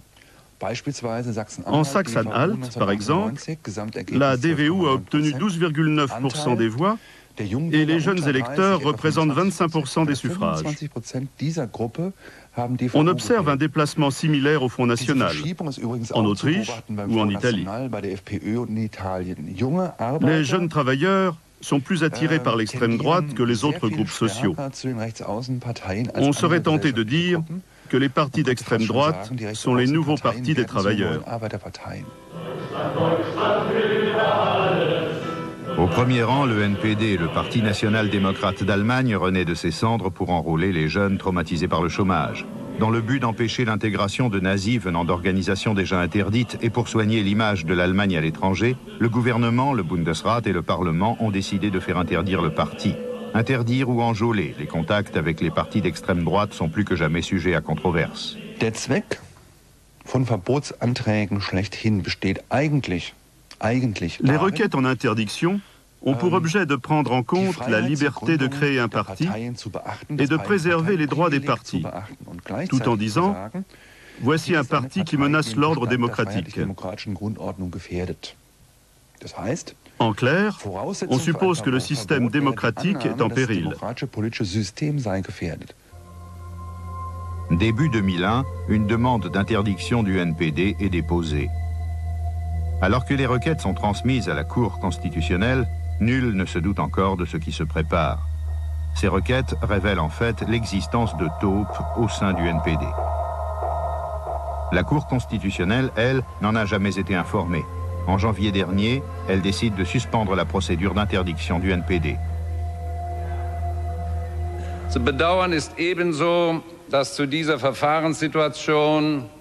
In beigetragen. Die Verstimmung, die im Bundesverfassungsgericht eingetreten ist, ist verständlich. Otto Chili finit par admettre sa part de responsabilité dans les dérapages de la procédure d'interdiction du NPD. Entre-temps, on découvre l'existence de plusieurs autres indices. Certains critiques affirment qu'aux renseignements généraux, on aurait voulu prouver, grâce à de faux témoignages, que le NPD représentait un véritable danger pour la Constitution. Il est évidemment difficile de s'imaginer qu'avant l'intervention du Verfassungsschutz, le service des renseignements généraux, le NPD était un parti fatigué, regroupant des nostalgiques de la Deuxième Guerre mondiale. Difficile aussi de croire que cette organisation a été militarisée et même dynamisée par les renseignements généraux, et que ce sont les renseignements généraux qui, les premiers, ont infiltré des radicaux dans le parti. Les renseignements généraux ont pour mission de protéger la démocratie contre les extrémistes. Ils disposent pour cela de moyens légaux. Infiltrer des espions à des postes importants peut être particulièrement enrichissant, mais selon les directives internes, c'est une pratique qui n'est pas autorisée. Il faut instaurer un nouvel arsenal de critères pour définir ce que les espions ont le droit de faire, sous quelles conditions ils doivent être infiltrés, comment il faut les diriger, qui doit les contrôler? Il y a encore beaucoup de travail à effectuer pour faire cesser ces affaires le plus rapidement possible. La découverte de l'existence de ces taupes a donc relancé le débat autour de l'interdiction du NPD. De plus en plus, certains affirment que la demande d'interdiction est vouée à l'échec. À Karlsruhe, les juges doivent prendre une décision lourde de conséquences. Pour enrayer ce genre de phénomène, il faut s'attaquer aux sources et non au parti lui-même. Contre les contenus politiques et les idéologies, interdire un parti n'est pas d'une grande utilité. Du côté des experts, on affirme que c'est sur le plan des idées qu'il faut combattre ces groupes car les extrémistes mènent leur propagande depuis longtemps. Ils ont fondé des groupes d'écoliers, des associations sportives, des comités de défense et des MJC.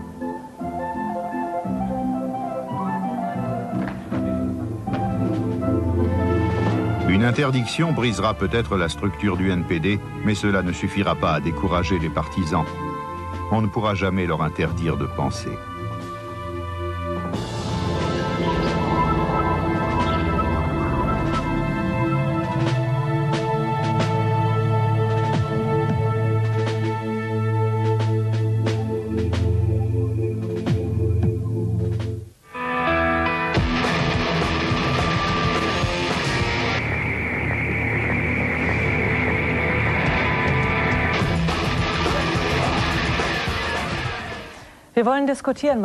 Alors maintenant, nous allons débattre de ce sujet car il pose beaucoup de questions. Par exemple, on peut se demander d'où viennent ces idées, cette idéologie euh, brune et fascisante. Comment pourrait-on peut-être récupérer ceux qui se sont engagés sur cette voie? Comment lutter contre le fascisme renaissant? Ce sont des questions que j'aimerais poser à nos invités. Nous avons de Berlin Madame Cornelia Sonntag-Folgast, social-démocrate, ministre déléguée auprès du ministre de l'Intérieur. Bienvenue à vous, madame. Et face à elle, monsieur Jean-Yves Camus, politologue. Il est chercheur au Centre européen de recherche et d'action sur le racisme et l'antisémitisme à Paris, le CERA.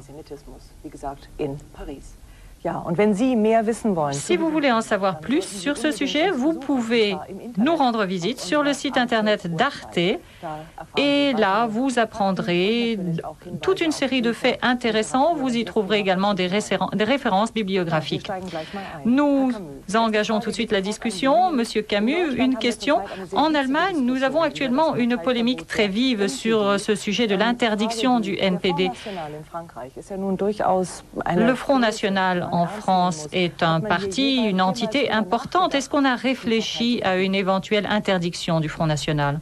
Oui, tout à fait. On a réfléchi à une éventuelle interdiction du Front National, mais juste après qu'il ait scissionné. Une commission d'enquête parlementaire s'est réunie, qui a fini par conclure que certes le service d'ordre, notamment du Front National, posait problème par rapport euh, à la démocratie, mais que finalement, pour des raisons qui sont propres, d'une part à la, législation française, puis euh, à l'idée que l'on se fait en France de la liberté du débat politique, il était finalement pas très utile et même finalement peu recommandable de dissoudre le Front National. Idée que pour ma part je partage, parce qu'il faut bien savoir que si le NPD fait 1% des voix, au maximum et appelle à ce titre-là des réponses qui sont plutôt d'ordre policier ou de l'ordre de la justice.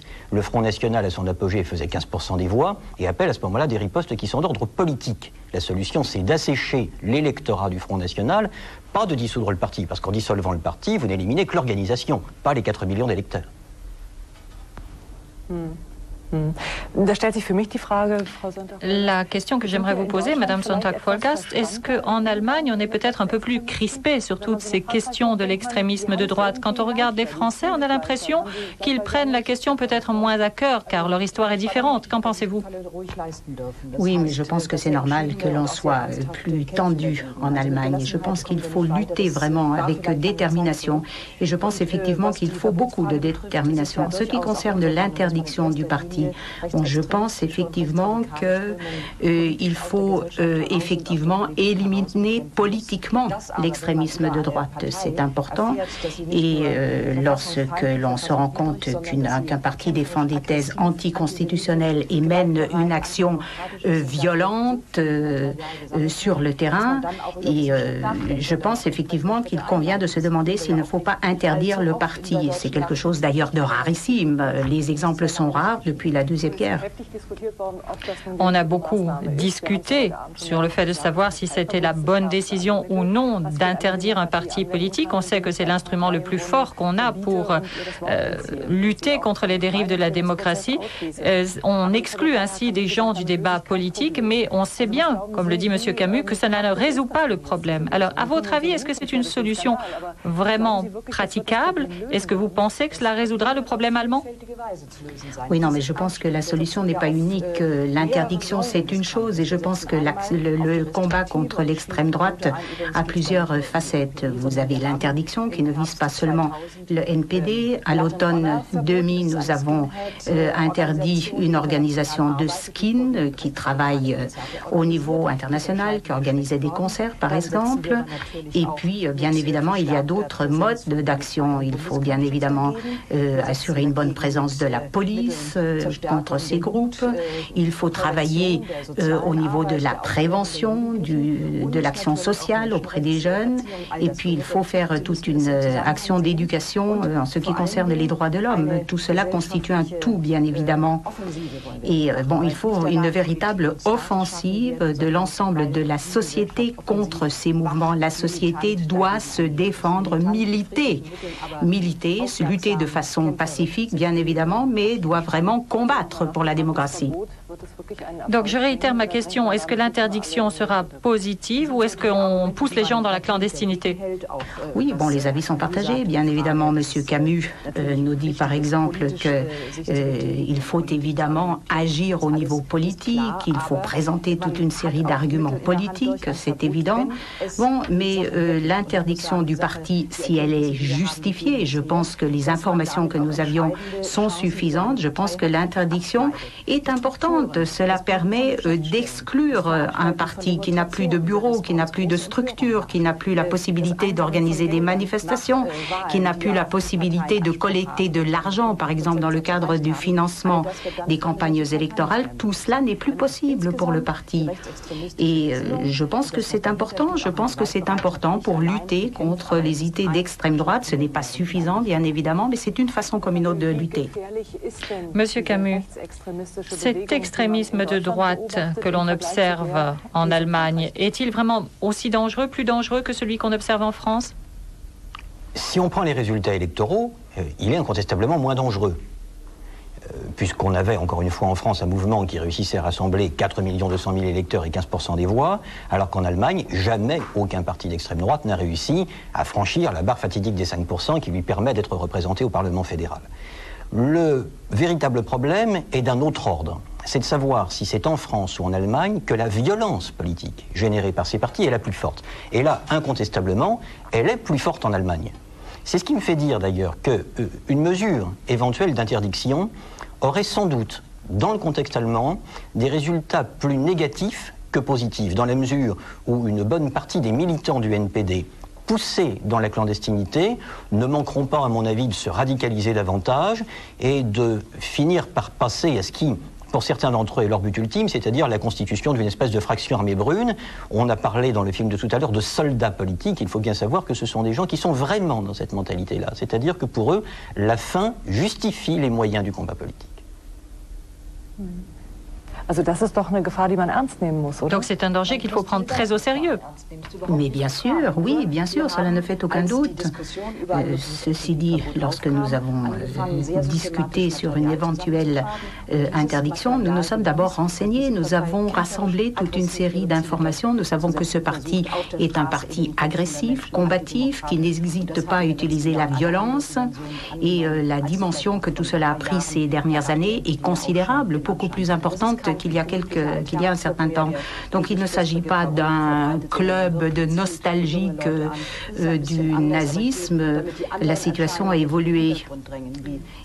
Bon, ceci dit, ce n'est pas tout. Il y a les skins, il y a les néo-nazis qui représentent aussi une véritable menace. Nous le savons en 2000. Euh, nous avons euh, parmi euh, les délits politiques un certain nombre de délits d'actes de violence.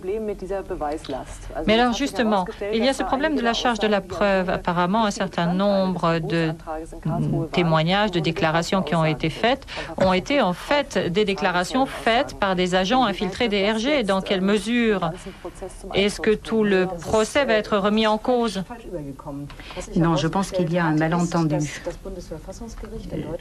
Le tribunal constitutionnel avait l'impression de n'être pas suffisamment bien informé. Il y avait un certain nombre de témoignages sur le parti, sur les objectifs qu'il poursuit. Or, un certain nombre de ces témoignages ont été faits par des personnes qui travaillaient également pour les renseignements généraux, ce qui est parfaitement légitime. Euh, le problème, c'est que le tribunal n'était pas suffisamment informé euh, de cet état de fait, ce qui ne remet pas en cause ces témoignages et la demande d'interdiction. La Cour voit les choses de façon différente. Non, je ne pense pas. Bon, je pense que la Cour s'est accordé un délai euh, d'examen supplémentaire, ce qui fait que l'audience a été retardée. Nous verrons quelle sera la suite. Monsieur Camus, est-ce que vous pouvez suivre cette discussion euh, allemande sur les agents infiltrés? Est-ce que ça vous interpelle? Écoutez, ça ne me paraît pas une plus mauvaise méthode que d'autres pour savoir effectivement quelle est l'évolution de, la scène néo-nazie et des partis euh, d'extrême droite. Est-ce que les choses se passent comme ça euh, En France, la législation a un petit peu évolué sur, sur ce sujet-là, puisque désormais, euh, les renseignements généraux ne peuvent plus s'intéresser aux partis politiques constitués, participant à l'ordre démocratique, ils ne s'intéressent qu'aux éléments violents. Donc ils appréhendent maintenant, depuis quelques années, le Front National et le MNR par la bande, si je puis dire, par les éléments les plus radicalisés, mais ils n'ont plus à suivre les partis en tant que tels, puisqu'ils sont considérés, participant aux élections, étant parfaitement légaux, n'ayant pas été dissous, comme des partis mainstream, si je puis dire, aux yeux de la loi, pas aux yeux des citoyens. Um Est-ce qu'on utilise aussi des indicateurs en France pour infiltrer ces milieux? Très probablement, comme partout.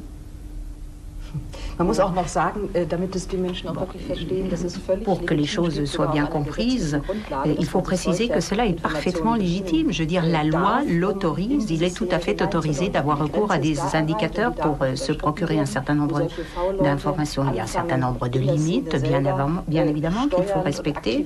Bon, ces gens sont infiltrés dans le milieu, n'ont pas le droit d'agir. Bon, ça, c'est la limite. Mais il y a également d'autres limites. On voit clairement dans ce scandale que le système fédéral est peut-être plus fragile parce que l'information circule peut-être moins bien que dans un système centralisé. C'est ce que dit M. Chili. Il dit qu'il n'a pas reçu les informations des lenders, euh, alors que les lenders étaient déjà au courant de la présence de ces agents. Bon, peut-être, effectivement, notre système veut que euh, ces informations ne soient pas centralisées. Les services euh, régionaux ont collecté un certain nombre d'informations, c'est exact. Ceci dit, ce que je constate ici, c'est que le bien fondé de, ces informations ne sont pas remises en cause. Et c'est ce qui importe. Notre demande est justifiée. Donc on ne peut pas dire que le NPD ait remporté une première victoire. Je crois qu'il faut qu'on attende encore un petit peu. Je ne sais pas si on peut être aussi optimiste. Je repose encore une fois la question si nous avons un problème de compétence. Est-ce qu'on peut dire que le système fédéral est quand même plus fragile pour les attaques, face aux attaques des mouvements extrémistes? Non, je ne crois pas. Bon, je pense que les activités activités déployées par les différents LENER pour lutter contre l'extrême droite euh, se complètent. Bon, il y a effectivement des, des particularités d'une région à l'autre et c'est une bonne chose. Je ne pense pas personnellement euh, que cela plaide contre notre système fédéral. Bon, ce système requiert une bonne coordination, c'est sûr. Monsieur Camus, la France est un pays beaucoup plus centralisé, on le sait. Vous avez entendu notre débat sur euh, les forces et les faiblesses du fédéralisme. Est-ce que vous pensez qu'il est plus simple de gérer le problème de l'extrême droite dans un système centralisé? Oui, très probablement. C'est sans doute la force du modèle français. Euh, ceci étant, ça ne veut pas dire qu'en France, on n'ait pas aussi d'énormes disparités euh, de l'électorat d'abord, mais des formes organisationnelles d'Ocroussillon. On a un Front National et un MNR qui sont plus forts que dans d'autres régions de France. Et par conséquent, il faut les suivre différemment. Il y a de plus en plus aussi quelque chose qui est intéressant, c'est de voir comment les partis d'extrême droite, en France mais aussi ailleurs, récupèrent les thématiques régionalistes. Donc il est évident que dans un certain nombre de régions, il y a des interactions entre certains, pas tous euh, les milieux régionalistes, et une partie de l'extrême droite. Ça nécessite d'avoir un suivi qui soit plus fin et, pas uniquement centralisé, parce qu'il y a des, réalités de cet ordre qu'on ne peut appréhender qu'au plan local ou régional, incontestablement. Mais toute l'information en France est centralisée euh, par des services qui sont basés à Paris, qui ont compétence sur l'ensemble des régions et des départements. Hmm. Regardons un peu la situation en Europe. Nous avons vu déjà dans les documentaires que les réseaux sont très bien organisés entre ces différentes organisations d'extrême droite et ces organisations coordonnent parfaitement leur action par les technologies modernes. Au plan politique, que faut-il faire? Est-ce qu'il ne faudrait pas là aussi une coopération transfrontalière plus poussée? Écoutez, elle existe au plan de la justice et de la police, fort heureusement, elle existe. Je crois qu'il faut bien distinguer, selon que l'on traite des milieux marginaux et violents comme ceux du NPD ou des milieux skinhead, qui rassemblent quelques milliers d'individus, le NPD c'est environ 600 6500 militants en Allemagne à l'heure actuelle, euh, et, ou bien alors que l'on traite de partis qui participent à la compétition électorale et qui arrivent, comme le Vlaamsblok, comme le Front National, comme les populismes scandinaves, à dépasser la barre des 10%, à être entre 10 et 15%. Euh, on a beaucoup parlé de coordination dans ces documentaires. Personnellement, je défends la thèse inverse. Je pense qu'en dehors des milieux skinhead et strictement néo-nazis qui compensent leur faible influence par une organisation réseau, les partis politiques constitués, Vlaamsblok, Front National, Allianza Nationale, Populisme scandinave, FPE autrichien, n'ont que très peu de relations entre eux, d'une part parce qu'ils ont des intérêts nationaux qui sont antagonistes, c'est quand même le propre des nationalismes, et d'autre part parce qu'aucun d'entre eux n'a intérêt, pour des raisons liées à la respectabilité, à s'afficher avec des formations trop estampillées, trop labellisées extrême droite. Monsieur Haider en Autriche n'a absolument aucun intérêt à avoir des relations suivies euh, avec le Front National, par exemple. Il n'en a jamais voulu il y avait, euh, à l'été 2000, une réunion des différents partis nationaux populistes européens qui était prévue à Vienne, à l'initiative de quelques cadres du FPE. Mhm. Monsieur Haider a stoppé net. Pourquoi? Parce qu'au même moment, les trois sages mandatés par l'Union européenne débarquaient à Vienne, allaient rendre, on le savait, un rapport qui était finalement pas si méchant que ça pour la coalition au pouvoir. Il aurait été complètement idiot, complètement négatif de la part de Haider de se marquer à l'extrême droite alors qu'il acquérait au même moment une légitimité auprès de l'Union. Donc, au fond, les quelques réseaux qui existent sont très très embryonnaires et tiennent beaucoup plus de, la question de l'image de marque, de l'affichage, que d'un véritable travail en commun, à quelques exceptions près. Mais si je peux ajouter un point, nous avons vu dans un documentaire qu'il y avait vraiment des complots de renversement des systèmes démocratiques. Est-ce que vous croyez que c'était exagéré? Ou est-ce que vous pensez que, bon, c'est peut-être le cas, mais on n'a pas vraiment perçu les choses correctement. Est-ce que euh, c'est un autre niveau? Est-ce que peut-être les choses se passent à un autre niveau de l'homme de la rue, peut-être? Vous savez, le, le, vieux fantasme du la révolution est pour demain, c'est une réalité vieille comme les mouvements d'extrême droite et d'ailleurs comme les mouvements d'ultra-gauche. Mais ça ne veut pas dire pour autant euh, qu'il y ait véritablement un complot fondé sur une, réalité organisationnelle. Les milieux que l'on a vus, les milieux skinhead et néo-nazis, rassemblent encore une fois une infime partie même de la militance d'extrême droite en Europe aujourd'hui. Ça n'est rien comparé à ce que peut être un appareil politique comme le Vlaamsblok, le Front National euh, ou, le, ou le FPE autrichien. Et là, bien évidemment, il n'y a pas de complot. Il faut toujours se méfier des effets d'affichage. Comme M. Maigret disait tout à l'heure que, grosso modo, son équivalent en Espagne, c'était M. Aznar, c'est bien évidemment une contre-vérité. Il n'y a jamais eu de, lien, quel qu'il soit, entre le Parti populaire espagnol et le MNR. L'un est au pouvoir, le deuxième peine à faire 1%. M. Aznar est un démocrate, c'est un démocrate de droite, mais c'est un démocrate. Donc euh, j'ai l'impression qu'au fond, on a vu beaucoup de gens qui vivaient dans le fantasme et qui euh, exprimaient euh, ce qu'on appelle en anglais de wishful thinking, hein, ce que l'on aimerait être. Mais tout ça repose sur du sable. Hmm. Vous partagez ce point de vue? Oui, tout à fait. Bon, on a pu avoir l'impression effectivement que euh, la révolution brune euh, était imminente en Europe. Alors, il ne s'agit pas ici de minimiser le danger, mais n'exagérons pas quand même. Et euh, les groupes organisés au niveau international, ce sont essentiellement des skinheads, c'est tout. Et ce sont des gens qui font un peu du tourisme, qui vont euh, casser un peu dans tous les pays. Donc je ne suis pas sûre euh, vraiment que nous ayons euh, des partis organisés au niveau international. La propagande, oui, il l'est. Par exemple, sur la toile, sur Internet, il y a effectivement un véritable réseau. Et là, il faut faire quelque chose. Et on fait d'ailleurs quelque chose. Nous parlons ici ce soir de la situation en France et en Allemagne. En 1996, nous avons décidé d'un certain nombre de mesures communes visant, entre autres, une meilleure coordination judiciaire pour la poursuite d'actes euh, d'extrémisme. L'été dernier, euh, nous avons eu à Fribourg une réunion euh, franco-allemande pour la lutte contre le racisme. Ces jours-ci se tient une euh, réunion de personnes qui ont assisté à la conférence de Durban sur la lutte contre le racisme pour assurer le suivi de cette conférence. Bref, je pense effectivement que les démocrates en Europe se mobilisent, euh, coordonnent leur action. Je pense que l'on connaît le problème et qu'on essaye de trouver des stratégies communes. C'est bien, c'est nécessaire effectivement, euh, il faut d'abord isoler ces groupes et les empêcher de faire tache d'huile. C'est une première chose qui est nécessaire pour nos sociétés. Bon, il faut effectivement éviter que ces euh, gens euh, trouvent une vaste sympathie. Mais regardons un petit peu en arrière.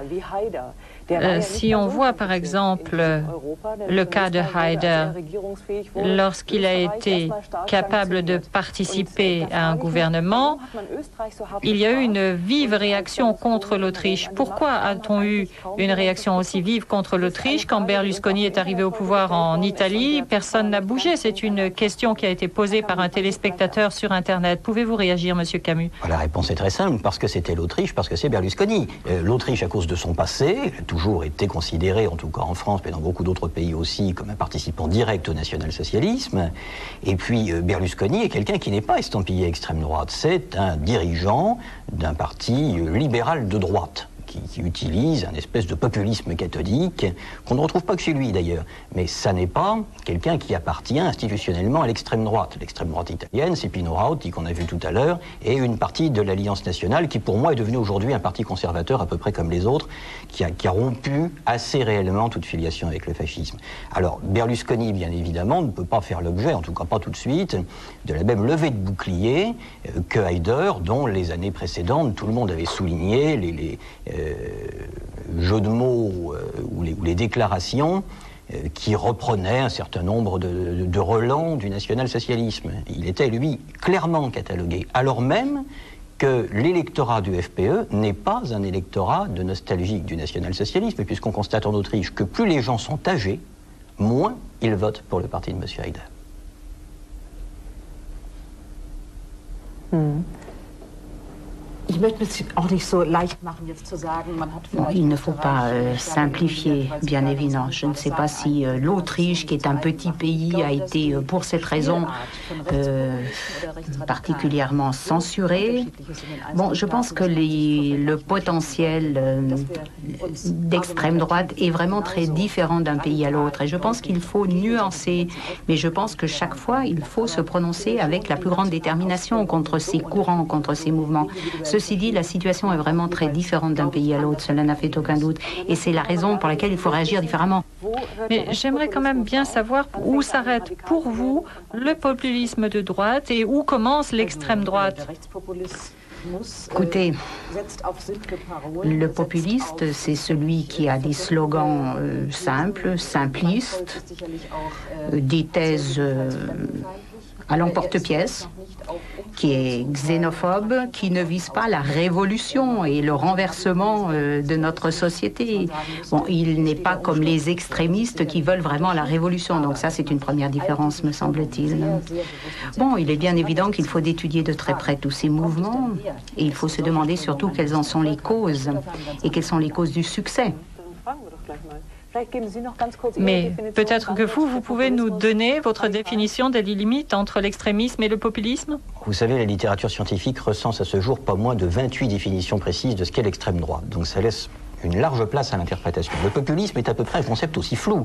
Le populisme n'est pas nécessairement de droite. On distingue traditionnellement un populisme de gauche, un populisme de droite et ce qu'on appelle un populisme agrarien. Ça n'est pas nécessairement une idéologie xénophobe.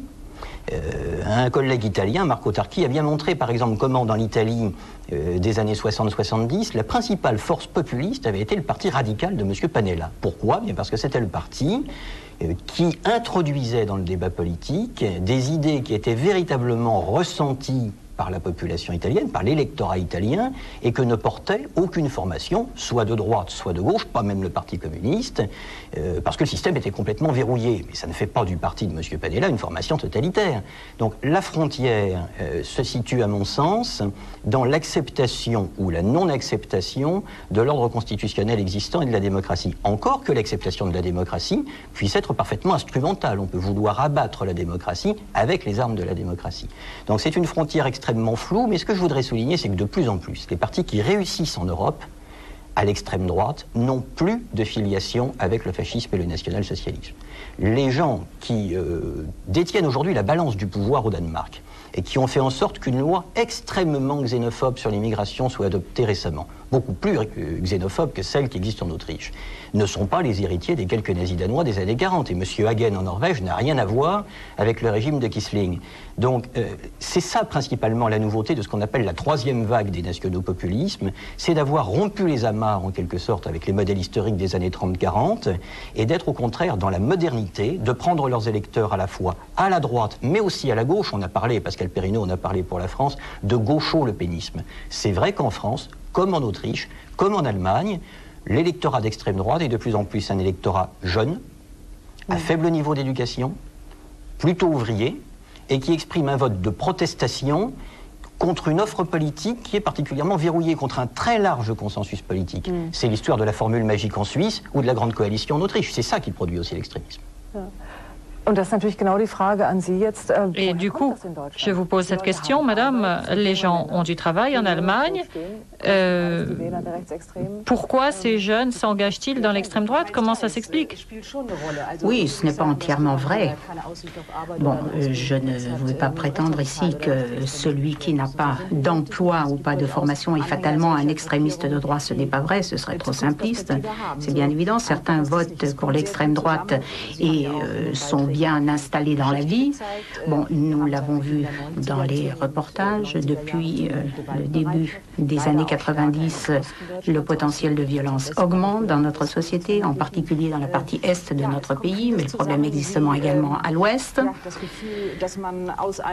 Bien, euh, la RDA était un régime autoritaire, alors il y a évidemment un problème de transition. Comment gérer la nouvelle liberté à laquelle on n'était pas habitué Il y a la peur de la mondialisation, le sentiment d'être victime euh, de l'évolution économique de la société, ce sentiment d'exclusion qui entraîne euh, la haine de l'autre, la xénophobie. Bon, et puis il y a également euh, cette mauvaise connaissance d'autres cultures, de l'étranger. Cela vaut pour l'ex-RDA.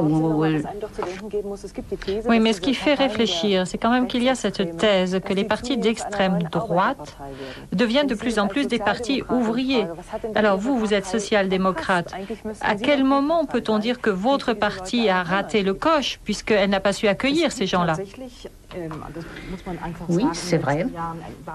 C'est vrai que euh, ces dernières années, nous constatons que des électeurs traditionnels du SPD euh, ont voté entre-temps pour des produits pour des partis d'extrême droite. Et cela doit effectivement nous donner à, réfléchir.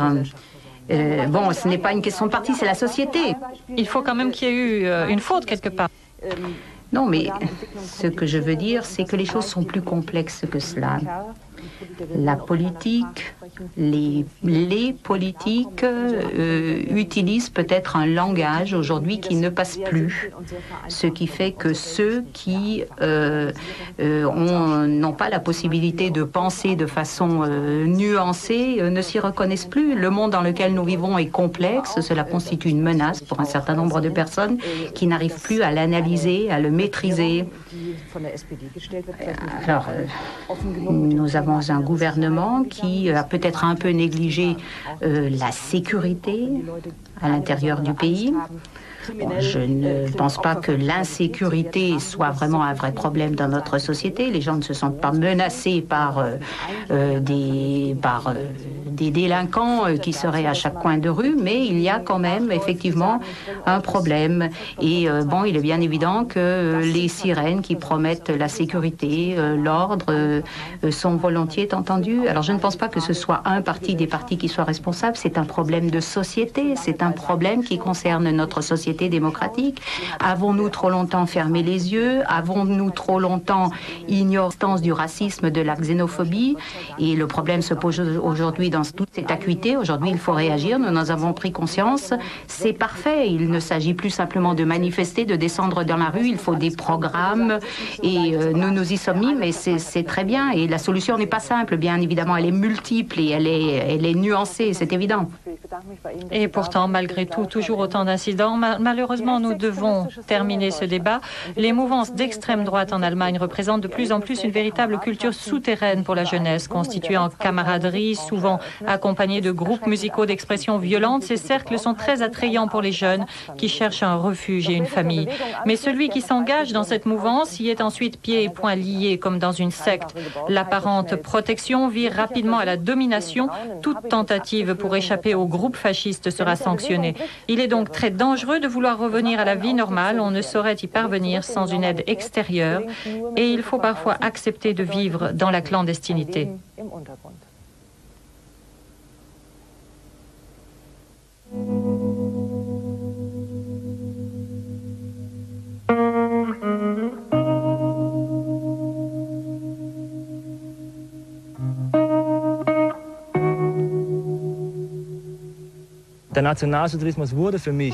Avec le temps, le national-socialisme était sûrement devenu pour moi une sorte de religion à laquelle j'adhérais comme un disciple.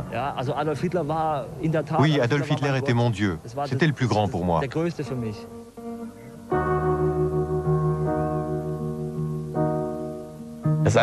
C'est la sensation d'être puissant, c'est une impression de possession. Tu crois que tu peux tout, que tu es tout. La haine est ta règle. Tu marches dans les rues, tu es invincible, tu es gonflé à bloc.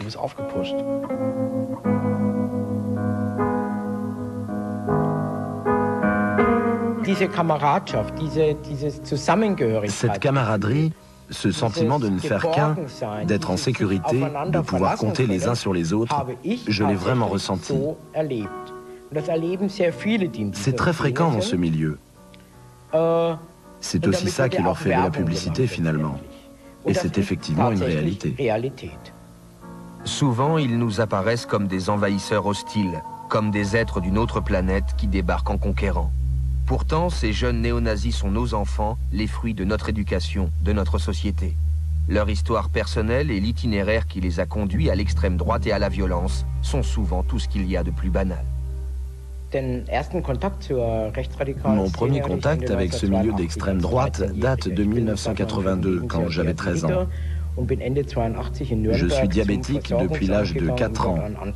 Et fin 82, à Nuremberg, je suis allé déposer une demande au service social. Le fonctionnaire dont je dépendais était vice-président du parti NPD pour l'arrondissement.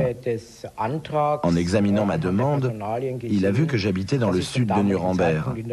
C'est un quartier où le pourcentage d'immigrés est supérieur à la moyenne. Il a commencé par me demander s'il n'y avait pas de problème avec les étrangers, dans le quartier, dans le voisinage, à l'école.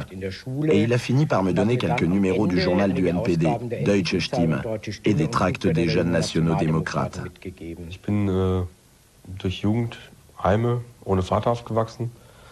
J'ai grandi dans des foyers, sans père. Ma mère avait un compagnon qui n'était pas allemand. Je ne l'acceptais pas en tant que personne. Et du coup, c'était une source de conflit entre nous.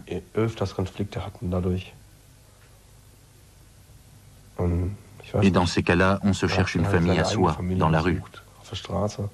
Euh, Je crois que théoriquement, j'aurais aussi bien pu atterrir chez les gauchistes, chez les autonomes ou dans une secte, n'importe où. Je crois que j'ai rencontré les gens qu'il ne fallait pas et au mauvais moment. Mais la fascination qu'ont exercée sur moi les gens de droite et en particulier les néo-nazis, c'était tout simplement de la provocation. Le fait d'être absolument à contre-courant, de faire scandale. C'est souvent par colère que ces jeunes chosent des bottes de para, revêtent des uniformes, se fondent dans la masse des camarades. Par un besoin diffus de se sentir à l'abri, par un désir d'appartenance qui s'extériorise dans l'extrémisme. Un mélange confus de sentiments. Il y a toujours ce préjugé qui consiste à croire que les néo-nazis viennent tous de l'Est, qu'ils sont chômeurs, qu'ils n'ont pas ou pas beaucoup de formation scolaire et qu'ils n'ont pas appris de métier. Eh bien, je dirais que je suis exactement le contraire. Je suis issu de la moyenne bourgeoisie et je viens de l'Ouest, de la région de Francfort. Quand Mathias Adrian était enfant, c'est avec l'assentiment bienveillant de son père qu'il dessinait des croix gammées et des sigles SS sur ses jouets représentant des blindés. Sa famille n'est pas constituée de néo-nazis, mais de bons bourgeois allemands qui, aux fêtes de famille, chantent volontiers des chants militaires. Je me souviens aussi de mon grand-père. J'avais peut-être 6 ou 7 ans. Quand il voyait un type aux cheveux longs dans la rue, il allait à sa rencontre et lui mettait 20 marques dans la main en lui disant d'aller chez le coiffeur. C'est dans ce système de valeurs que j'ai été élevé. En plus, le Troisième Reich m'était toujours présenté comme une sorte de bon vieux temps. À 14 ans, Mathias se tourne vers l'extrême droite. À 20 ans, il est l'un des propagandistes du néonazisme allemand. La passion pour tout ce qui est militaire, la nostalgie des rituels fixes, la transfiguration des prétendus bons côtés du Troisième Reich, de tels sentiments ont cours dans les classes moyennes et c'est sur eux que misent délibérément les néo-nazis. Naturellement, je me faisais remarquer au collège. À l'époque, j'avais des profs qui étaient de gentils 68 ans. Ils ressortaient de leur enseignement que sous le Troisième Reich, la normalité n'avait pas existé. Et c'était en contradiction totale avec ce que m'avaient inculqué mes grands-parents et avec ce qui se disait à la maison que le Troisième Reich avait de bons côtés, des côtés positifs, le système social, etc. Un jour, je suis arrivé au collège avec un t-shirt Adolf Hitler. Je l'avais mis le matin pour aller en classe. Et à la deuxième heure, je me suis fait mettre à la porte. J'étais tout content, je pouvais rentrer chez moi. Ce n'était rien d'autre que de la provocation de la provocation et la recherche d'un affrontement avec les enseignants, en particulier bien sûr avec ceux qui étaient plutôt de gauche.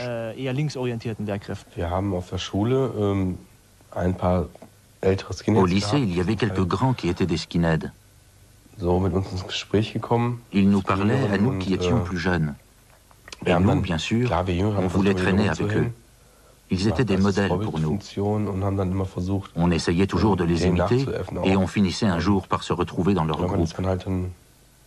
Beaucoup d'entre nous se rasaient les cheveux pour faire comme eux.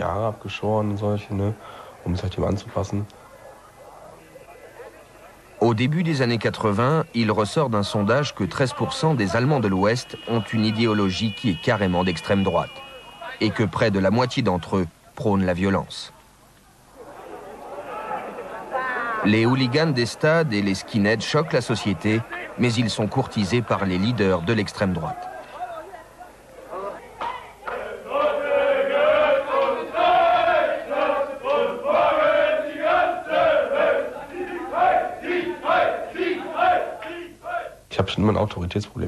J'ai toujours eu un problème avec l'autorité, avec les profs.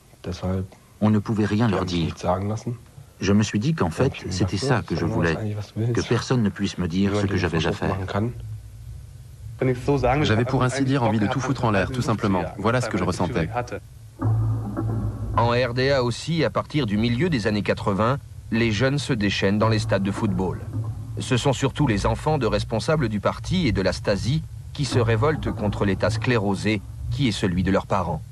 Très vite, ils se rendent compte que le plus grand des tabous, c'est d'être d'extrême droite. Ce mélange de rébellion et de violence est le terreau sur lequel se développe le néonazisme en RDA. C'était très brutal. On y allait carrément. Il y avait beaucoup de dents qui sautaient. On cognait le plus possible. On n'avait aucun scrupule.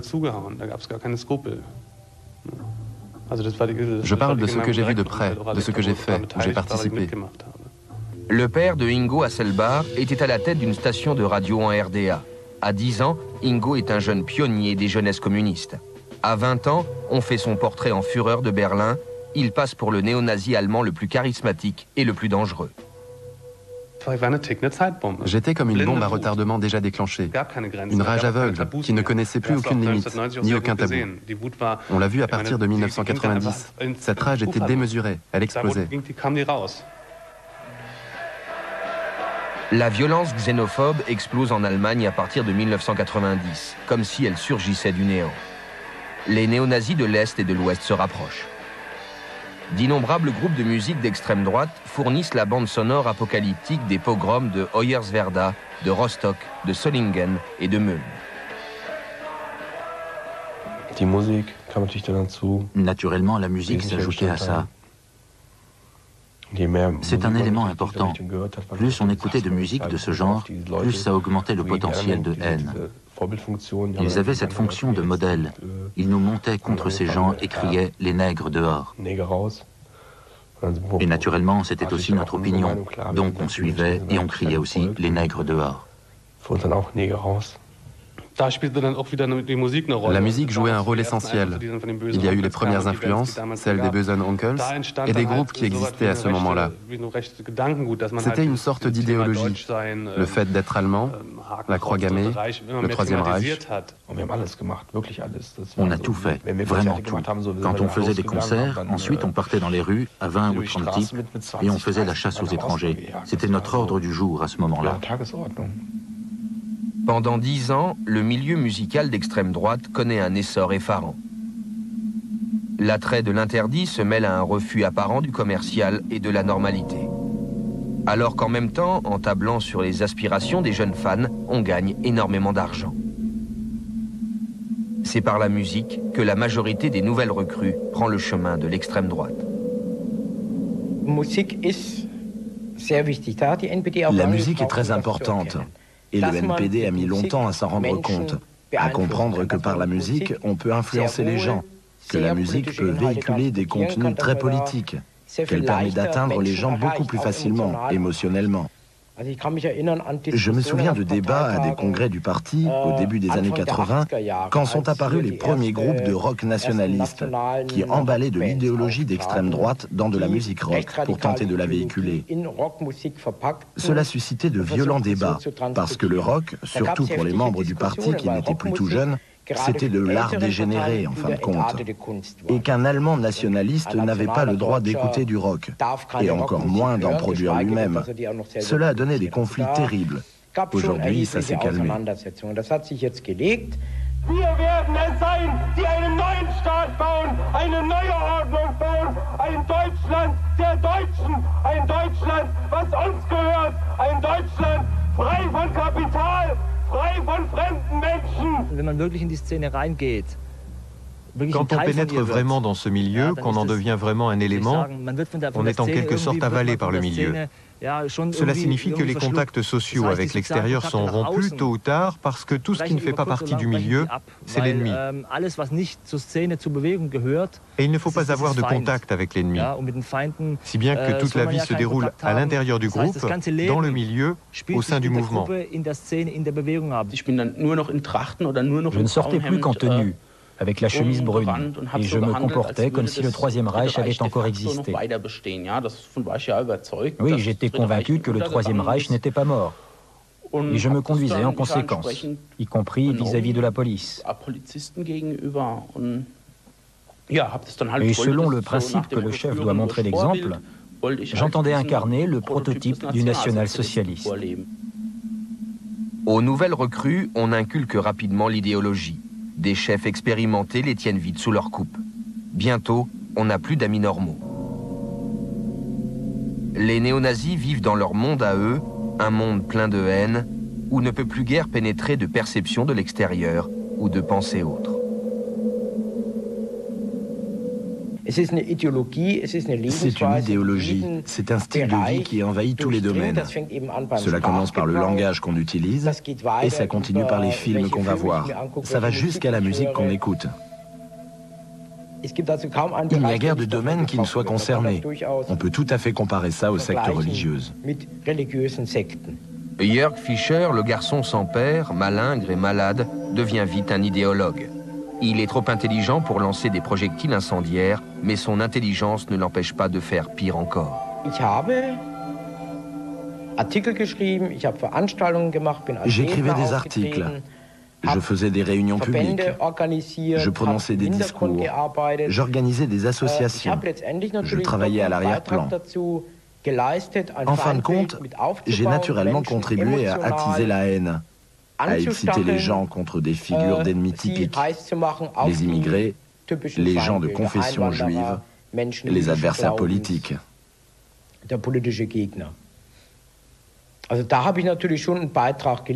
J'ai donc äh, fortement contribué à ces actes de violence. À l'époque, j'aurais été prêt à faire tout ce qui aurait été nécessaire pour rétablir sur le sol allemand l'État national-socialiste. Et sans reculer devant aucune conséquence. Il y avait des plans que j'ai toujours jugés assez irréalistes. Mais j'ai aussi rencontré des gens de l'entourage de Stéphane Michael Barr qui projetait effectivement de se procurer des armes et d'exécuter systématiquement des procureurs, des juges.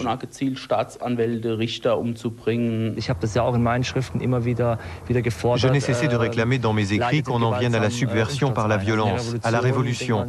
Et je pense qu'il n'y a pas de révolution pacifique. Il y a cette belle phrase qui dit que les véritables révolutions naissent dans le sang.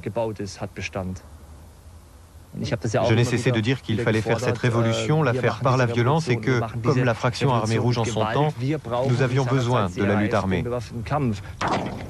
Pour beaucoup de ces jeunes, du discours à l'acte, il n'y a qu'un pas. Ils ont grandi dans un climat de violence et se laissent volontiers entraîner dans les exercices guerriers de l'extrême droite.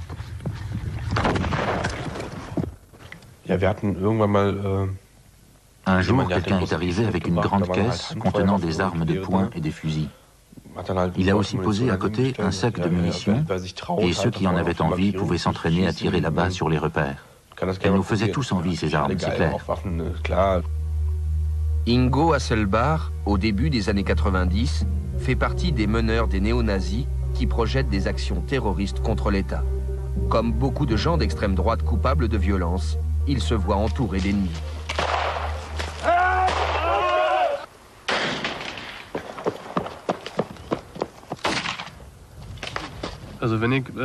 Si je vise quelqu'un ou que je lui tire dessus à balles réelles, c'est que j'ai une raison. C'est qu'à ce moment-là, il est mon ennemi. Tu t'imagines faisant ça? Bien sûr que je l'imagine. Je ne pensais pas un instant que ça pouvait faire du mal à quelqu'un, franchement. Non, peut-être que c'est faux. Je pensais bel et bien que ça pouvait faire du mal, mais ça m'était assez égal, franchement. La violence que j'exerçais, je la légitimais toujours. Je me disais toujours, d'abord, que c'était mon adversaire politique, ensuite que c'était lui qui m'attaquait, qu'il devait s'attendre à ce que ça fasse mal. On devient passablement brutal, et assez vite.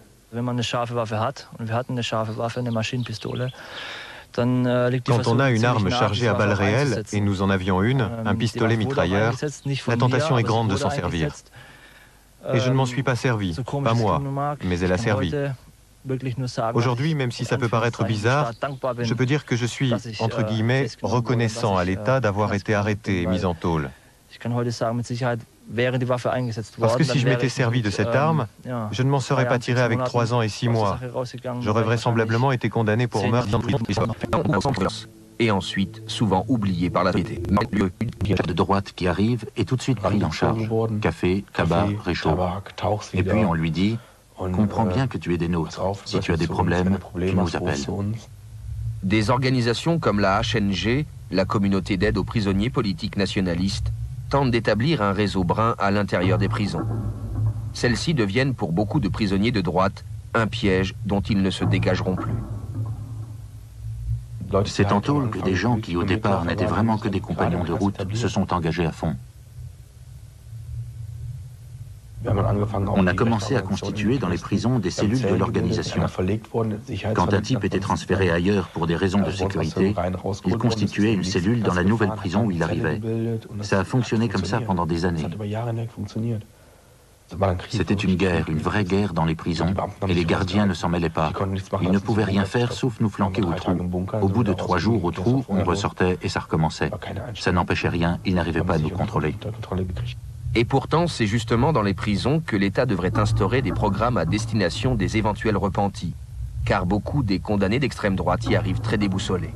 Après leur condamnation, ils se rendent compte pour la première fois que leurs chefs sont des lâches qui leur ont menti. Quand on vous ähm, prêche, et c'est arrivé souvent, qu'on va äh, briser l'État, qu'il faut la lutte armée, et que si on se retrouve en prison, c'est un honneur, et qu'ensuite on voit ces gens, quand ils risquent eux-mêmes la prison, äh, prendre leur distance, trahir, se mettre bien avec l'État, voire coopérer avec lui, äh, alors je me dis qu'il y a quelque chose qui cloche. On réfléchit sur sa propre vie, et là le choc est souvent très brutal. Depuis que j'ai 12 ans, äh, je me révolte contre toute forme d'autorité dans ma vie. Et se retrouver sans cesse devant le juge äh, d'instruction, sans cesse en prison, äh, on en ressort, on y retourne, les perquisitions, ce n'est pas une vie normale que j'ai menée là. Toute ma jeunesse s'est passée sous le signe de la contestation, de la rébellion. Et je ne sais pas, mais je n'ai tout simplement plus envie de ça. J'ai envie de mener une vie normale.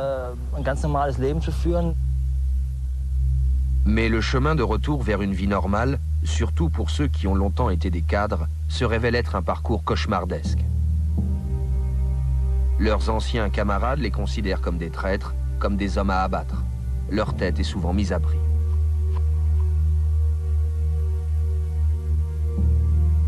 La menace pèse en particulier sur ceux qui prennent publiquement leur distance et qui veulent ainsi mettre en garde d'autres jeunes contre la dérive catastrophique que représente l'extrême droite.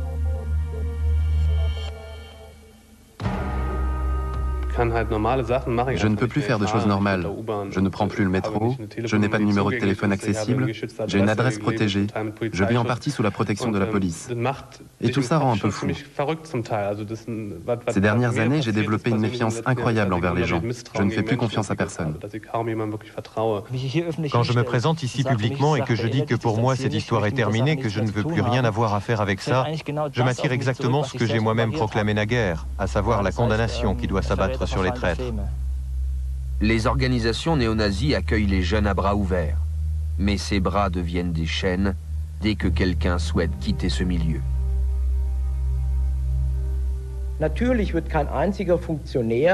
Naturellement, aucun responsable d'aucune de ces organisations ne va venir chez moi ou dans une réunion publique pour m'agresser. Ils sont bien trop intelligents pour ça. Mais comme dans d'autres domaines, lorsqu'il s'agit de violence, la règle est de déléguer le sale boulot à d'autres, qu'il faut commencer par chauffer, naturellement. Autour des repentis particulièrement en vue se crée une atmosphère de peur tandis que certains se contentent d'écrire des lettres de menaces, d'autres tentent de les traduire en actes. Le sommet de tout ça, ça a été la bombe qu'on a envoyée à ma mère. Ça m'a révélé le danger que représente ce milieu, jusqu'où peuvent aller ces types? Et ça m'a flanqué la trouille. Maintenant, l'État essaie d'aider les néo-nazis qui veulent rompre avec cette mouvance. Un numéro vert des services de protection de la Constitution offre de l'argent, un dialogue, un logement, des perspectives d'avenir. Mais c'est précisément le caractère officiel de ce programme qui suscite la méfiance de certains repentis. Je n'ai jamais coopéré avec l'État et je ne coopérerai pas non plus avec cet État. Et quand j'apprends qu'il y a des programmes pour néo-nazis repentis organisés par l'État, ça me fait rigoler. L'État se fiche pas mal des gens qui veulent se tirer de ce milieu. L'État veut seulement des informations. Une initiative privée appelée Exit s'occupe aussi de repentis des vedettes du rock y collaborent avec d'anciens néo-nazis. Il s'agit d'accueillir ces repentis et de les mettre à l'abri des actes de vengeance émanant du milieu. Je pense qu'un lieu d'accueil comme ça est extrêmement important. On tombe dans un trou noir sans fond. Tout seul, on ne peut à peu près rien faire. On a absolument besoin d'aide. À l'époque où on a décroché, il n'y avait pas encore tous ces programmes publics et semi-publics, ni le projet privé Exit.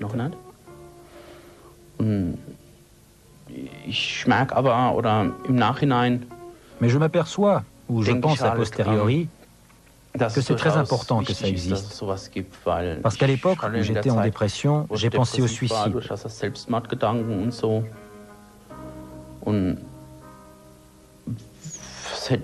Il s'en est fallu de peu que je ne fasse une bêtise. Et je ne voudrais pas que ça arrive à d'autres. Mathias Adrian et Ingo Hasselbar, tous deux collaborateurs d'Exit, savent qu'il faut du temps pour se détacher d'une partie importante de sa vie, pour comprendre qu'un engagement sur des années était une erreur et un désastre. C'est ce qui fait la force de ce milieu. C'est qu'il est en mesure d'offrir des choses qui manquent peut-être aux jeunes dans la société. Une solidarité, une sorte de famille, toutes les choses agréables de la vie. C'est ce qui fait l'attrait de ce milieu. A posteriori, je m'en rends compte. Mais en même temps, ce qu'on oublie facilement, c'est qu'en échange de tout ce qu'il donne, le milieu exige des choses de vous. Je fais partie d'une minorité. Je suis homo. Et c'est l'une des cibles haïes par le milieu d'extrême droite. Ce milieu dérape de manière générale dans sa disposition mentale, qui fait que tout le monde est l'ennemi. Pas seulement certaines personnes, jeunes ou vieux, femmes ou enfants. Tout le monde y a droit, comme à l'époque. Pour moi, cela représente un danger. Je me suis dit, non, ce n'est pas conciliable avec ma conscience. Axel Ausweiler a fait près de 9 ans de prison pour des violences d'extrême droite. Ensuite, il a témoigné en justice contre beaucoup de ses anciens camarades. Depuis, le jeune homme mène une vie de clandestin. Le fait est qu'avec certains camarades, la camaraderie prenait des formes très physiques. Mais ces camarades s'arrangent très bien de cette contradiction. Pour moi, à la fin de 1991, c'est devenu impossible à assumer. À l'époque, dans le milieu, c'était toujours le combat, le combat. Il y avait toujours des choses qui ne me plaisaient pas, auxquelles je ne pouvais pas adhérer.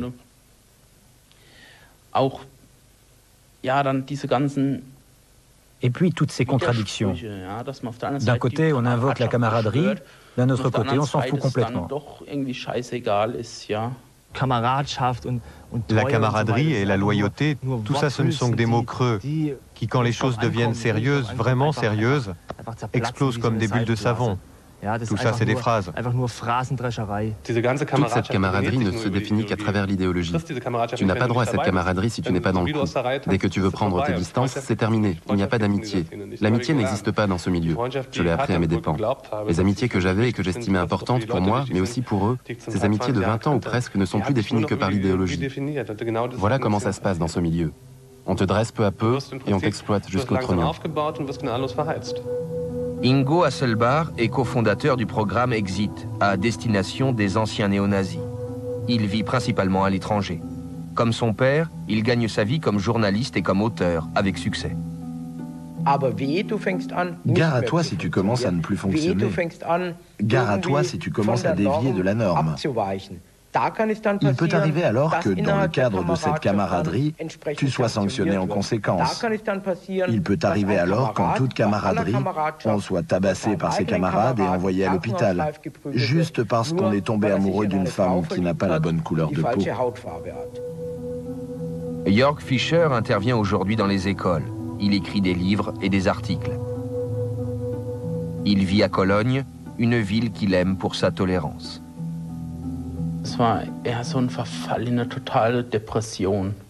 J'ai fait une grosse dépression. Quand j'ai réalisé quel monstre j'étais devenu, à l'époque, je trouvais ça bien, je voulais devenir ce monstre. Quand je m'en suis rendu compte, ça a été si terrible. Il n'y a pas de mots pour exprimer ce qui se passe dans la tête à ce moment-là. Sept ans dans ce milieu, près de trois ans en tôle, tout le temps que j'ai investi là-dedans, c'est du temps perdu. Personne ne me le rendra. Personne ne peut me le rendre. Et se rendre compte qu'idéologiquement, mais aussi humainement, ça a été un naufrage total. Je dois dire que ça fait mal. Après plus de trois ans de prison, Michael Barr se sent attiré par l'Italie, vers ses racines. Il veut commencer une nouvelle vie. Je ne sais pas comment expliquer ça. C'est un mélange de rage et de désespoir.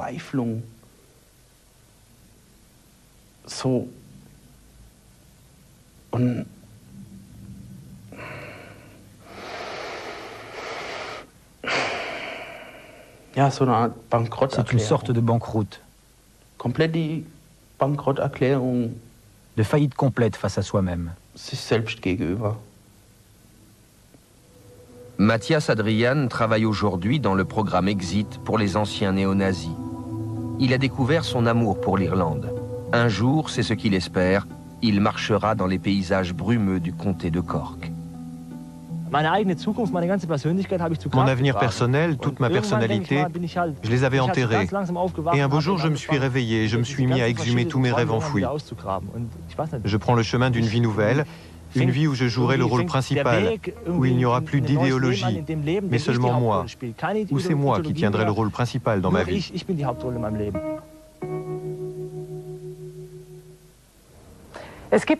Il est donc possible de ramener sur le droit chemin ces jeunes égarés. Le jeu en vaut la chandelle. Et l'État n'est pas le seul en cause.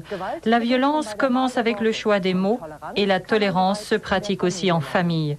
Merci de nous être restés fidèles. Bonne nuit.